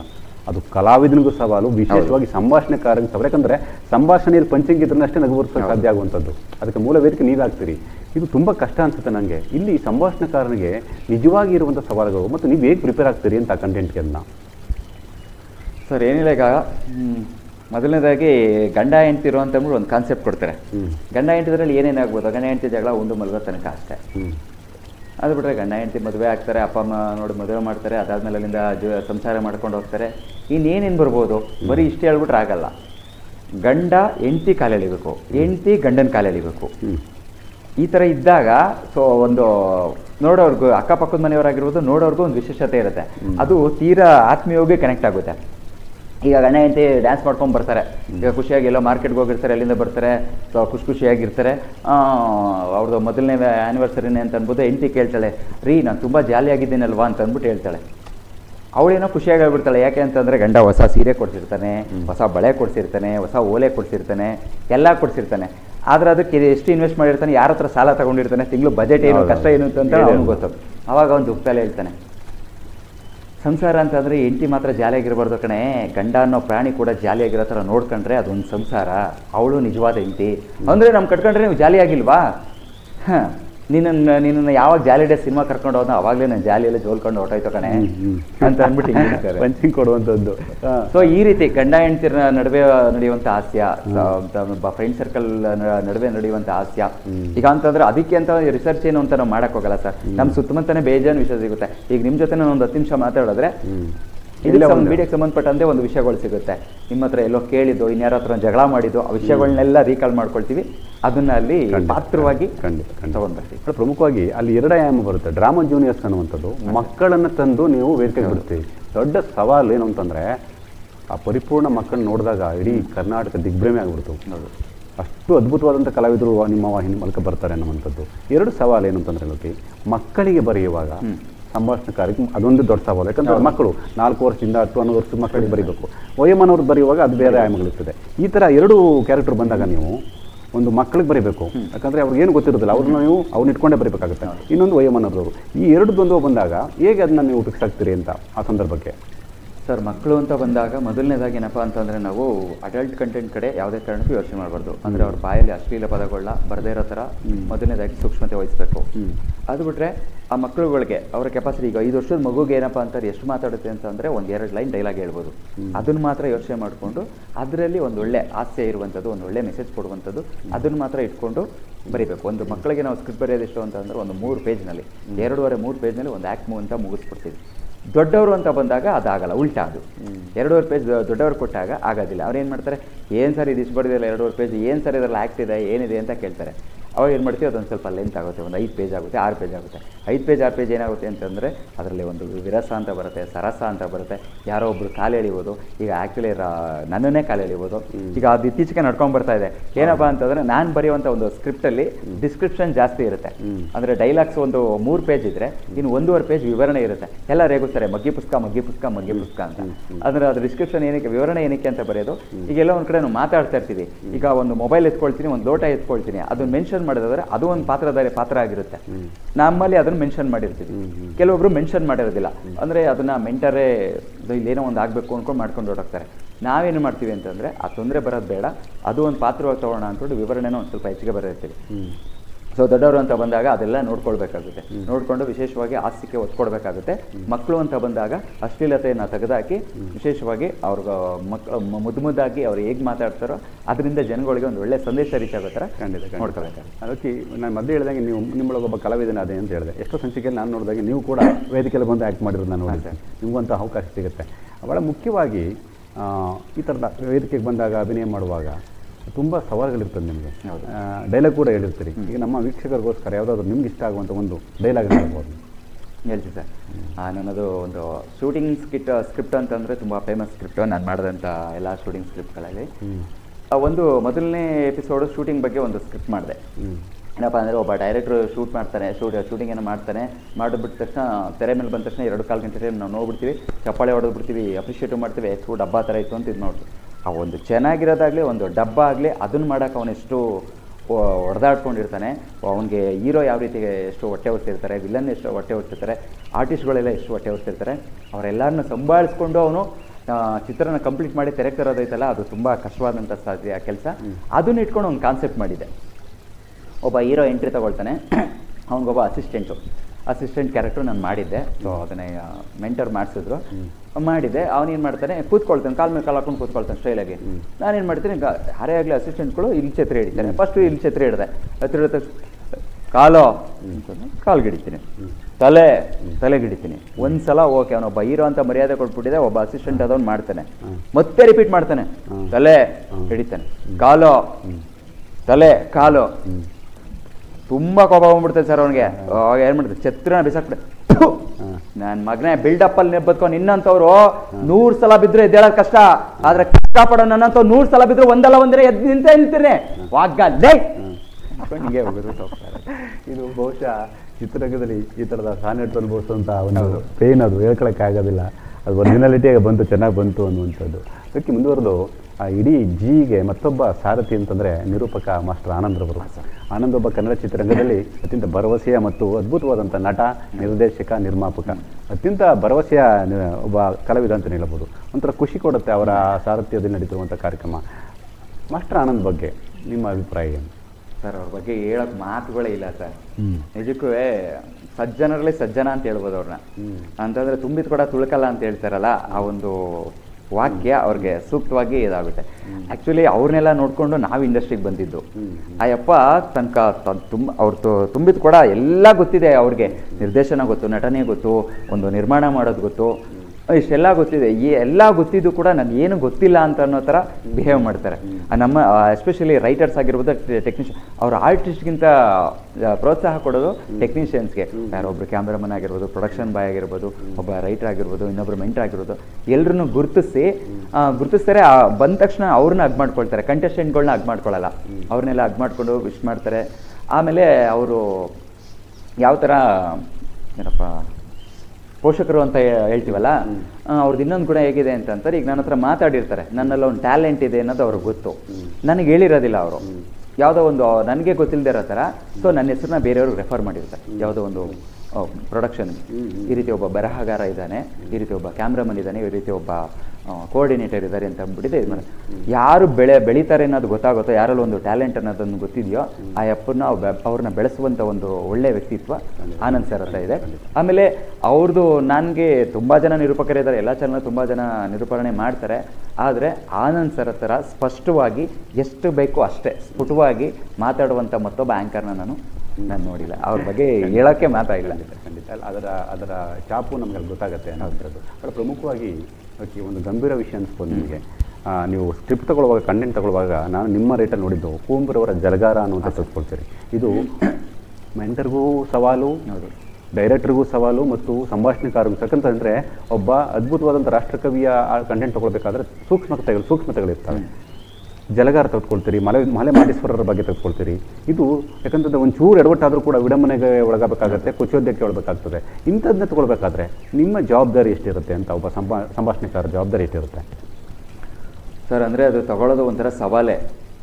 ಸವಾಲು ಅಂತಂದ್ರೆ ಈಗ ಏನಂತಂದರೆ ನಾವು ಕಮರ್ಷಿಯಲಾಗಿ ಯೋಚನೆ ಮಾಡಬೇಕಾದ್ರೆ ಇಲ್ಲಿ ಕಮರ್ಷಿಯಲ್ ಎಲಿಮೆಂಟ್ಸ್ ಇಟ್ಕೊಂಡು ನಾವು ಸ್ಕ್ರಿಪ್ಟ್ ಮಾಡೋಕ್ಕೆ ಅಂತ ಹೋಗ್ತೀವಿ. ಅಂದರೆ ಎಲ್ಲನೂ ಕಮರ್ಷಿಯಲ್ಗೆ ಅಡಾಪ್ಟ್ ಮಾಡ್ಕೊಳಕ್ಕಾಗಲ್ಲ. ಅಂದರೆ ಈಗ ಮೂಲ ಬರಹಗಾರ ಒಬ್ಬ ಇರ್ತಾನೆ. ಅವ್ನು ಬರೆದಿದ್ದನ್ನ ನಾನು ಬರ್ದಿದ್ದೀನಿ ಅಂತ ಹೇಳ್ಕೊಳಕ್ಕೂ ಆಗಲ್ಲ. ಆ ರೈಟ್ಸ್ ನಮ್ಗೆ ಯಾವುದೇ ರೀತಿ ಇಲ್ಲ. ಈಗ ಕುವೆಂಪು ಸರ್ ಒಬ್ಬ ಕುವೆಂಪು ಕುವೆಂಪುರವರು ಬರೆದಿದ್ದಾರೆ ಅಂತಂದರೆ ಅವರು ಆ ಒಂದು ಪ್ರಕೃತಿನ ಅನುಭವಿಸ್ಕೊಂಡು ಖುಷಿ ಇಟ್ಕೊಂಡು ಅದನ್ನು ಒಂದು ಪಾತ್ರವಾಗಿ ಇದು ಮಾಡಿ ಅದನ್ನು ನಾಟಕನ ತಗೊಂಡು ಬಂದಿದ್ದಾರೆ. ಆ ಒಂದು ಮೂಲ ಕಥೆನ ಅದು ಹೆಚ್ಚು ಕಮ್ಮಿ ಒಂದೂವರೆ ಗಂಟೆ ಟೈಮ್ ಜರ್ನಿ ಇದೆ. ಅದನ್ನು ನಾವು ಎಲ್ಲ ತಗೊಳಕ್ಕಾಗಲ್ಲ. ಅದರಲ್ಲಿ ಒಂದು ಎರಡು ದೃಶ್ಯಗಳನ್ನ ನಮ್ಮ ಒಂದು ವೇದಿಕೆಗೆ ಯಾವ ರೀತಿ ಅನುಕೂಲ ಆಗುತ್ತೋ ಆ ಥರ ತಗೊಂಡು ಆ ಮೂಲ ಸಂಭಾಷಣೆ ಏನು ಬರೆದಿದ್ರೆ ಅದಕ್ಕೆ ಧಕ್ಕೆ ಆಗದೆ ಇರೋ ಥರ ನಾವು ಇಲ್ಲಿ ಬೇಕು ಇಲ್ಲಿ ಬೇಡ ಅನ್ನೋದನ್ನು ನೋಡಿಕೊಂಡು ಅದನ್ನು ಕನ್ವರ್ಟ್ ಮಾಡಿಕೊಂಡು ಮಾಡಿದ್ವಿ. ತುಂಬ ಯಶಸ್ವಿಯಾಗಿ ಬಂತದು. ಸ್ಕಿಟ್ಗಳಿಗಿಂತಲೂ ಆ ಥರದ ಇದೆ ಎಮೋಷನಲ್ ಆಗಿ ಕಣ್ಣುಗಳಿಗೆ ಒಂದು ರೀತಿ ಭಾವನಾತ್ಮಕವಾದಂಥ ಮೆಸೇಜ್ ಕೊಡುವಂಥದ್ದು. ಆ ಮೆಸೇಜ್ ಅಂತ ಬಂದಾಗ ಇನ್ನೊಂದು ಮಾತು ಕೇಳಬೇಕು ಅನ್ಸುತ್ತೆ ನನಗೆ. ಪ್ರತಿ ಕಂಟೆಂಟಲ್ಲೂ ಕೂಡ ಪ್ರತಿ ಸಂಚಿಕೆಯಲ್ಲೂ ಕೂಡ ನೀವು ಏನೇ ತಮಾಷೆ ಮಾಡಿದ್ರು ಕೊನೆಯಲ್ಲಿ ಒಂದು ಮೆಸೇಜ್ ಇರ್ತದೆ. ಹೌದು. ಅದು ಮೆಸೇಜ್ ಕೊಡಬೇಕು ಅದು ಧರ್ಮ. ಪ್ರತಿ ವಾಹಿನಿಯ ಧರ್ಮ ನಿರ್ದೇಶಕರ ಧರ್ಮ. ಸೊ ನೀವು ಸ್ಕ್ರಿಪ್ಟ್ ಬರೆಯುವಾಗ ಅಥವಾ ಸಂಭಾಷಣೆಗೆ ತಮ್ಮನ್ನು ತೋರಿಸ್ಕೊಳ್ಳುವಾಗಲೇ ಈ ಥರದ್ದು ಮೆಸೇಜ್ ಬರಬೇಕು ಅಂತ ಪ್ರಿಪೇರ್ ಆಗ್ತೀರಾ? ಅಥವಾ ದಿಢೀರಂತ ಅಂತ ಅದು ಕ್ರಿಯೇಟ್ ಆಗತ್ತಾ ಅಂತ? ಸರ್ ಇಲ್ಲ. ಮೆಸೇಜ್ ಕೊಡಬೇಕು ಅಂತಂದ್ಬಿಟ್ಟು ನಾವು ಯಾವತ್ತೂ ಅಂದ್ಕೊಳ್ಳಲ್ಲ ಕೆಲವೊಂದು ಬರಿತಾ ಬರಿತಾ ಬರಿತಾ ಏನಪ್ಪ ಅಂತಂದರೆ ಕುಚಿಯೋದ್ಯ ಜಾಸ್ತಿ ಇರುತ್ತೆ. ನಾವು ನಮ್ಮ ಉದ್ದೇಶನೇ ನಗ್ಸೋದು. ಅದು ಹಿಂಗಾದ್ರೂ ಊಟ ಹಿಂಗಾದ್ರೂ ಮಾಡಿ ಹಿಂಗಾದ್ರೂ ಮಾಡಿ ಹೆಂಗಾದ್ರೂ ಮಾಡಿ. ಒಟ್ಟಿನಲ್ಲಿ ಊಟ ಹೊಟ್ಟೆಗೆ ಸೇರಬೇಕು. ಸೊ ನಗ್ಸೋ ನಗ್ಸೋಕೆ ಅಂತ ಬಂದಿದ್ದೀವಿ ನಗ್ಸೋದು ನಮ್ಮ ಧರ್ಮ. ನಗ್ಸೋಕೆ ಅಂತ ಹೋಗ್ತೀವಿ. ವಿಷಯ ಯಾವ್ದಾದ್ರು ಆಗಿರ್ಬೋದು. ಬಟ್ ಬರಿತಾ ಬರಿತಾ ಬರಿತಾ ವಿಷಯ ಏನಾದರೂ ರಾಂಗ್ ಆಗಿ ಹೋಗ್ತಾ ಇದೆ. ಈಗ ನನ್ನ ಪಕ್ಕದ ಮನೆಯಲ್ಲೇ ಯಾರೋ ಒಬ್ಬ ನನ್ನ ಫ್ರೆಂಡೇ ಹೆಂಡ್ತಿನ ಗಂಡ ಕಾಲೆಳಿತಾನೆ ಗಂಡ ಹೆಂಡ್ತಿನ ಕಾಲೆಳಿತಾನೆ ದಿನ ಬೆಳಗಾಯಿತು ಅಂತಂದರೆ ಜಗಳ ಹೊಡೆದಾಡ್ತಾರೆ ಬಡ್ದಾಡ್ತಾರೆ. ಯಾಕೆ ಇವ್ರಿಗೆ ಎಲ್ಲರೂ ಥರ ಚೆನ್ನಾಗಿರಕ ಇರೋಕ್ಕಾಗಲ್ಲ ಅಂತ ನಾವು ಅಂದ್ಕೊಳ್ತಾ ಇರ್ತೀವಿ. ಸೊ ಅಂಥವ್ರಿಗೆ ಏನು ಮಾಡಬೇಕು ಅಂತಂತಂದರೆ ಸೊ ಸ್ಟ್ರೈಟ್ ಆಗಿ ಹೋಗ್ಬಿಟ್ಟಿದೆ. ಯೋ ನೀನು ಸರಿ ಇಲ್ಲ ಕಣೋ ಯಾಕೋ ಹೆಂಡ್ತಿಗೆ ಬೈತೀಯಾ? ಏನಮ್ಮ ನೀನು ಸರಿ ಇಲ್ಲ ಕಣಮ್ಮ ಯಾಕೆ ನೀನು ಗಂಡಂಗೆ ಒಬ್ಬ ಬೈತೀಯ? ಬಾಯಿ ಬಂದ ನಿಮ್ದು ಎಷ್ಟಿದೆ ಕೆಲಸ ಮುಚ್ಕೊಂಡು ಹೋಗ್ರಿ ಹೋಗ್ರಿ ಅಂತ ಅಂದ್ಬಿಟ್ಟಿದೆ. ನಮ್ಗೆ ಡೈರೆಕ್ಟಾಗಿ ಬೈತಾರೆ. ಅಂಥ ಟೈಮ್ನಲ್ಲಿ ನಾವೇನು ಮಾಡ್ತೀವಿ? ಹಾಸ್ಯದ ಮುಖಾಂತರ ಹೇಳಿದಾಗ ಖುಷಿ ಖುಷಿಯಾಗಿ ನೋಡ್ತಾ ಇರ್ತಾರೆ. ಓಯ್ ಸೂಪರ್ ಏ ಸೂಪರ್ ಅವ್ರಿಗೆ ಗೊತ್ತಿಲ್ಲ ಆ ಕ್ಯಾರೆಕ್ಟರ್ ನಂದೇ. ಅವ್ನು ನನಗೆ ಮುಕ್ಕು ಮುಖಕ್ಕೆ ಹೋಗಿತಾವನೆ ಅವಳಿಗೂ ಗೊತ್ತಿರಲ್ಲ ಆ ಕ್ಯಾರೆಕ್ಟರ್ ನಂದೇ ನನಗೂ ಹೋಗಿತಾವನೆ ಅಂತ ಅಂದ್ಬಿಟ್ಟಿದೆ. ಎಂಜಾಯ್ ಮಾಡ್ತಾ ಇರ್ತಾರೆ. ಲಾಸ್ಟಲ್ಲಿ ಒಂದು ಮೆಸೇಜ್ ಕೊಡ್ತೀವಿ. ಹೇಳೋದೆಲ್ಲ ಹೇಳ್ಬಿಟ್ಟು ಗಂಡ ಗಂಡ ಆಗಲಿ ಹೆಂಡತಿ ಆಗಲಿ ಒಂದು ಬ ಎತ್ತಿನ ಬಂಡಿ ಇದ್ದಾಗ ಜೋಡಿ ಎತ್ತಿದ್ದಾಗೆ ಅನುಸರಿಸ್ಕೊಂಡು ಹೋಗಬೇಕು. ಆಗ ಹೋದಾಗ ಮಾತ್ರ ಒಂದು ಸಂಸಾರನೋ ಒಂದು ಪದಕ್ಕೆ ಅರ್ಥ ಬರುತ್ತೆ ಅಂತ ಅಂದ್ಬಿಟ್ಟು ಹೇಳಿದಾಗ ಅವಾಗ ಅವ್ನು ಫೀಲ್ ಮಾಡ್ಕೊಳ್ತಾನೆ. ಆ ಗಂಡ ಆದವ್ನು ಫೀಲ್ ಮಾಡ್ಕೊಳ್ತಾನೆ ಹೆಂಡತಿ ಆದವ್ನು ಫೀಲ್ ಮಾಡ್ಕೊಳ್ತಾರೆ. ಸೊ ಈ ರೀತಿ ಒಂದು ಸಣ್ಣ ಮೆಸೇಜಿಂದ ಎಲ್ಲೋ ಒಂದು ಕಡೆ ಒಂದು ಸಂಸಾರ ಆಗುವುದು ಒಬ್ಬ ಸ್ನೇಹಿತರಾಗಿರ್ಬೋದು ಒಂದು ಬದಲಾವಣೆ ಆಗ್ತಾ ಆಗ್ತಾರೆ ಅಂತ ಅಂದರೆ ಸೊ ನಮ್ಮಷ್ಟು ಖುಷಿ ಪಡೋರು ಯಾರೂ ಇಲ್ಲ ಖಂಡಿತ, ಖಂಡಿತ. ಬಹಳ ಮುಖ್ಯವಾಗಿ ತೀರ್ಪುಗಾರರ ಬಗ್ಗೆ ಮಾತನಾಡಬೇಕು. ಮೊದಲಿಗೆ ಅಭಿನೇತ್ರಿ ಖ್ಯಾತ ಅಭಿನೇತ್ರಿ ಲಕ್ಷ್ಮಿ ಮೇಡಮ್ ಬರ್ತಾರೆ. So T N Sitaram Kannada ಚಿತ್ರರಂಗದ ಅದ್ಭುತವಾದ ನಿರ್ದೇಶಕರು ಬರ್ತಾರೆ. ವಿಜಯ ರಾಘವೇಂದ್ರ ಅವರು ಪ್ರಬುದ್ಧ ನಟ ಬರ್ತಾರೆ. ಆಮೇಲೆ ಸಣ್ಣ ಕಾರಣದಿಂದ ಸೀತಾರಾಮ್ ಸರ್ ಸ್ವಲ್ಪ ಬದಲಾದಾಗ ಮುಖ್ಯಮಂತ್ರಿ ಚಂದ್ರ ಅವರು ಆಸ್ಥಾನಕ್ಕೆ ಬರ್ತಾರೆ. ಖುಷಿ ಅಂದರೆ ನಮ್ಮ ಮಂಡ್ಯದ ಪ್ರತಿಭೆಯನ್ನು ಅಂಥ ಮಹಾನ್ ನಟರು ಹೊಗಳ್ತಾರೆ ಅನ್ನುವಂಥದ್ದು. ಅತ್ಯಂತ ಖುಷಿ ಕೊಡುವಂಥ ಸಂಗತಿ. ಅವರಿಂದ ಕೂಡ ನೀವು ಸಭಾಸ್ಕೀರ್ ತೆಗೆದುಕೊಡ್ತೀನಿ ಅದು ಬಹುಶಃ ನಮಗೆ ಸಕ್ಕರೆ ನೆಲಕ್ಕೆ ತಂದಂಥ ಗೌರವ ಅನ್ನುವಂಥದ್ದು. ಅಂತಹ ಮೇರು ನಟರು ನಿಮಗೆ ಆ ಸಾಬೀಸ್ಕರಿ ಕೊಟ್ಟಾಗ ಆ ಕೃತಜ್ಞತಾ ಭಾವ ಹೆಂಗೆ ಬರುತ್ತೆ ನಿಮಗೆ ಅಂತ ಕ್ಷಣಕ್ಕೆ? ಅದೆಲ್ಲ ವರ್ಣನೆ ಮಾಡೋಕ್ಕೆ ಆಗಲ್ಲ ಸರ್. ಮೊದಲನೇದಾಗಿ ನಾವು ಅವ್ರನ್ನ ನೋಡ್ತೀವಿ ಅನ್ನೋದೇ ಒಂದು ಇದು ನೋಡ್ತೀವಿ ಅನ್ನೋ ಒಂದು ಕನಸೇ ಇಟ್ಕೊಂಡಿರಲಿಲ್ಲ. ಅಂಥವ್ರ ಮುಂದೆ ನಾವು ಒಬ್ಬ ಬರಹಗಾರನಾಗಿ ನಾನು ಬರೆದಂಥ ಒಂದು ಸ್ಕ್ರಿಪ್ಟ್ ಏನಿದೆ, ಅದನ್ನು ಮಕ್ಕಳು ಆ್ಯಕ್ಟ್ ಮಾಡ್ತಾರೆ. ಅದನ್ನು ಅವರು ಮೆಚ್ಕೊಂಡು ನಮ್ಮನ್ನು ವೇದಿಕೆಗೆ ಕರೆದು ಅಭಿನಂದಿಸ್ತಾರೆ ಅಂತಂದರೆ ಅದು ಅವರ ದೊಡ್ಡ ಗುಣ. ಸೊ ಇದ್ರ ಬಗ್ಗೆ ಏನು ಹೆಚ್ಚಿಗೆ ಹೇಳಕ್ಕೆ ಈಗ ಈಗ ಈಗ ಈ ಸಂಚಿಕೆಯಲ್ಲಿ ಇನ್ನೂ ಇನ್ನೂ ಜನ ದೊಡ್ಡ ಪ್ರತಿಭೆಗಳು. ಯೋಗರಾಜ್ ಭಟ್ರು ಮಹಾನಟ ಜಗ್ಗೇಶ್ ರವರು ರಕ್ಷಿತಾ ಮೇಡಮ್ ರವರು. ಮೊನ್ನೆ ಯಾವುದೋ ಒಂದು ಸಂಚಿಕೆ ನೋಡಿದಾಗ ನಿಮ್ಮನ್ನ ಅವರು ನೇರವಾಗಿ ಖುಷಿ ಪಡಿಸಿದ್ರು ಅಂತ ಸಭಾಸ್ಕಿರಿ ಕೊಟ್ಟರು ಹೌದು. ಬಹಳ ಖುಷಿ ಕೊಡುವಂಥದ್ದು. ಈ ಥರ ನೋಡಿ ತಲೆಮಾರಿನ ತಲೆಮಾರಿನ ಕಾಲ ಬದಲಾದಂಗೆ ಹೋಗಿ ಹೋಗಿ ಇದು ಒಂದು ಖುಷಿ ಕೊಡುವಂಥದ್ದು. ಅಂದರೆ ಒಬ್ಬ ಕಲಾವಿದನನ್ನ ಬೇಸ್ ಬೇಸ್ ಅಂತಂದರೆ ಏನೋ ಒಂದಷ್ಟು ಬರಿತಾನೆ ಅನ್ನುವಂಥದ್ದು. ಈ ಥರದ ಅನುಭವಗಳು ನಿಮಗೆ ಯಾವ ಮಟ್ಟಿಗೆ ತಂದು ಕೊಡ್ತವೆ ಅನ್ನುವಂಥದ್ದು ಅದು ಸಾಕ್ಷಿಯಾಗಿದೆ ಅಂತ. ಸೊ ಯೋಗರಾಜ್ ಭಟ್ರು ಜಗ್ಗೇಶ್, ರಕ್ಷಿತಾ ಮೇಡಮ್ ಬಗ್ಗೆ ನಿಮ್ಮ ಅಭಿಪ್ರಾಯ ಏನು? ತೀರ್ಪುಗಾರರಾಗಿ. ಏನನ್ನೋ ಒಂದು ಒಂದು ತ್ರಿವಳಿ ರತ್ನಗಳು ಅಂತ ಕರಿತೀವಿ, ಆ ಒಂದು ಪದಕ್ಕೆ ಸೂಕ್ತವಾಗಿದ್ದಾರೆ ಅವರು ಮೂರು ಜನ ಜಡ್ಜಸ್ಸು ಭಟ್ರ ಸರ್ ಆಗಿರ್ಬೋದು, ರಕ್ಷಿತಾ ಮೇಡಮ್ ಆಗಿರ್ಬೋದು, ಜಗ್ಗೇಶ್ ಸರ್ ಆಗಿರ್ಬೋದು. ಮೊದಲನೇದಾಗಿ ನಾವು ಆಡಿಯನ್ಸ್ ಅವ್ರನ್ನ ಅಪ್ರಿಷಿಯೇಟ್ ಮಾಡ್ತಾರೆ ಎಲ್ಲ ವೀಕ್ಷಕರು. ಮೊದಲನೇದಾಗಿ ನಾವು ಬರಹಗಾರರು ಏನಕ್ಕೆ ಅವ್ರನ್ನ ತುಂಬ ಇಷ್ಟಪಡ್ತೀವಿ ಅಂತಂದರೆ ಎಸ್ಪೆಷಲಿ ಯೋಗರಾಜ್ ಭಟ್ರು ಸರ್, ಅವರು ಟೆಕ್ನಿಕಲಿ ಒಬ್ಬ ಬರಹಗಾರನಾಗಿ ಬಂದು ಈಗ ಅದು ಒಳ್ಳೆ ಹಾಸ್ಯ ಕವಿ ಕವಿ ಅಂತಲೇ ಹೇಳ್ಬೋದು ಅವ್ರನ್ನ. ಅವ್ರು ಬರೆಯುವಂಥ ವಿಕಟ ಕವಿ ಅಂತ ಹೇಳ್ತಾರೆ. ಇದ್ದಿದ್ದಕ್ಕೆ ಒಂದು ಒಂದು ಹಾಡು ಬರ್ಕೊಡಿ ಅಂತಂತಂದರೆ ಇದ್ರ ಮೇಲೆ ಅಂತ ಪಟ್ ಪಟ್ ಅಂತ ಬರ್ಕೊಬಿಡ್ತಾರೆ. ಅಂಥ ಚತುರರವರು. ಅದಾದಮೇಲೆ ಒಳ್ಳೊಳ್ಳೆ ಅವರ ನಿರ್ದೇಶನ, ಒಳ್ಳೊಳ್ಳೆ ಸಿನಿಮಾ ಬಂತು.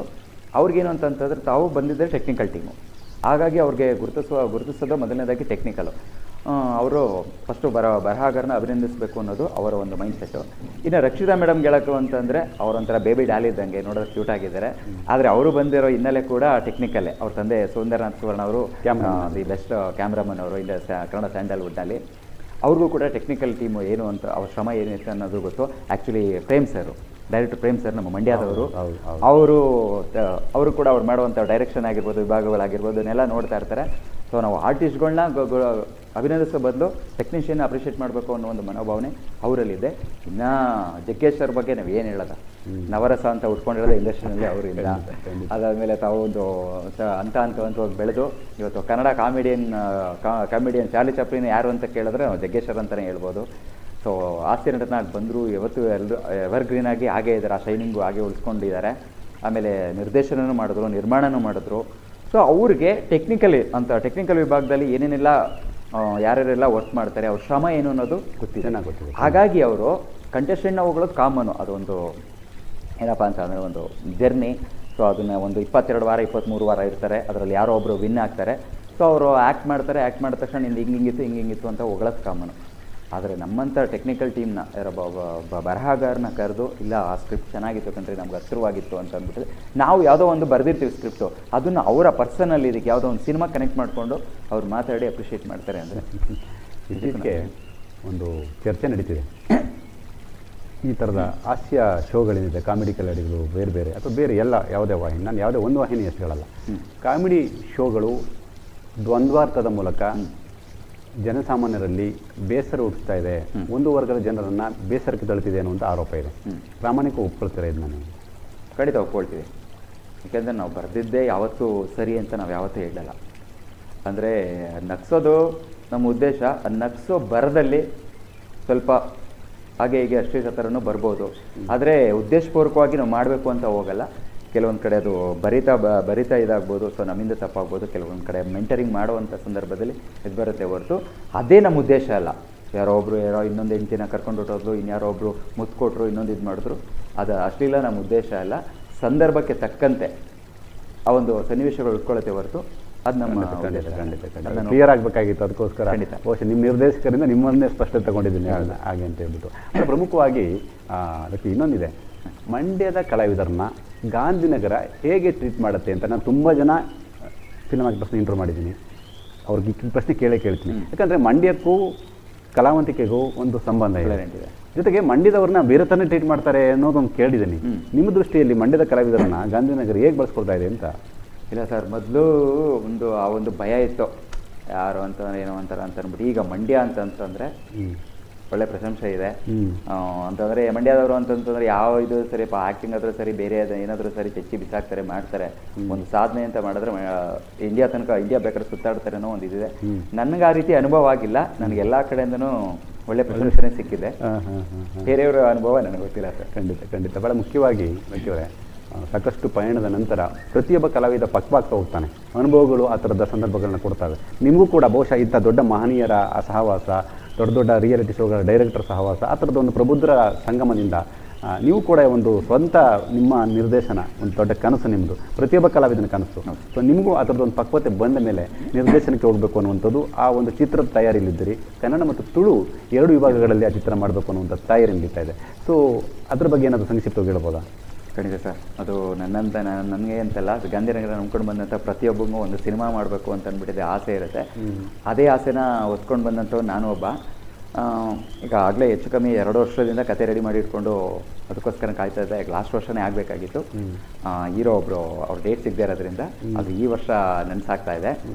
ಚೆಕ್ಮೇಟ್ ಅಂತ ಅಂದ್ಬಿಟ್ಟಿದೆ ಒಂದು ಸಿನಿಮಾ. ಅದು ಟೈಟ್ಲ್ ಇನ್ನೂ ಲಾಂಚ್ ಮಾಡಿಲ್ಲ ಸರ್. ಈಗ ಆಗಸ್ಟ್ ಲಾಂಚ್ ಮಾಡಬೇಕು ಅಂತ ಪ್ಲಾನ್ ಮಾಡ್ತಾ ಇದ್ದೀನಿ. ಚೆಕ್ಮೇಟ್ ಅಂತ. ಅಂತಂದರೆ ಈಗ ಚೆನ್ನಾಗಿರ್ತಾರೆ ಚೆನ್ನಾಗಿರುವಂಥ ಪ್ರತಿಯೊಬ್ಬ ಮನುಷ್ಯ ಅವನಿಗೆ ಗೊತ್ತಿಲ್ಲದೆ ಇದ್ದಂಗೆ ಒಂದು ಪರಿಸ್ಥಿತಿಗೆ ಹೇಗೆ ಸಿಕ್ಕಾಕೊಳ್ತಾನೆ ಅನ್ನೋ ವಿಷಯ. ಮನೆಯಲ್ಲಿ ತಂದೆ ಆಗಿರ್ಬೋದು, ಇನ್ನೊಬ್ಬ ಫ್ರೆಂಡ್ ಆಗಿರ್ಬೋದು, ಹೊರಗಡೆ ಇನ್ಯಾರೋ ಕುಡ್ಕ ಆಗಿರ್ಬೋದು, ಇನ್ಯಾರೋ ಒಬ್ಬ ಸ್ಟೂಡೆಂಟ್ ಆಗಿರ್ಬೋದು, ಇನ್ಯಾವುದೋ ಒಂದು ಆಡಳಿತ ಕಮಿಟಿನಲ್ಲಿ ಇನ್ಯಾರೋ ಒಬ್ಬ ಅಧ್ಯಕ್ಷ ಆಗಿರ್ಬೋದು ಇವರೆಲ್ಲರೂ ಚೆನ್ನಾಗೇ ಇರ್ತಾರೆ. ತಮಗೆ ಗೊತ್ತಿಲ್ಲದೆ ಇರೋದೇ ಯಾವ ರೀತಿ ಟ್ರ್ಯಾಪ್ ಆಗ್ತಾರೆ, ಅದರಿಂದ ಯಾವ ರೀತಿ ಹೊರಗಡೆ ಬರಬೇಕು ಅಂತಂದರೆ ಹೇಗೆಲ್ಲ ಒದ್ದಾಡ್ತಾರೆ.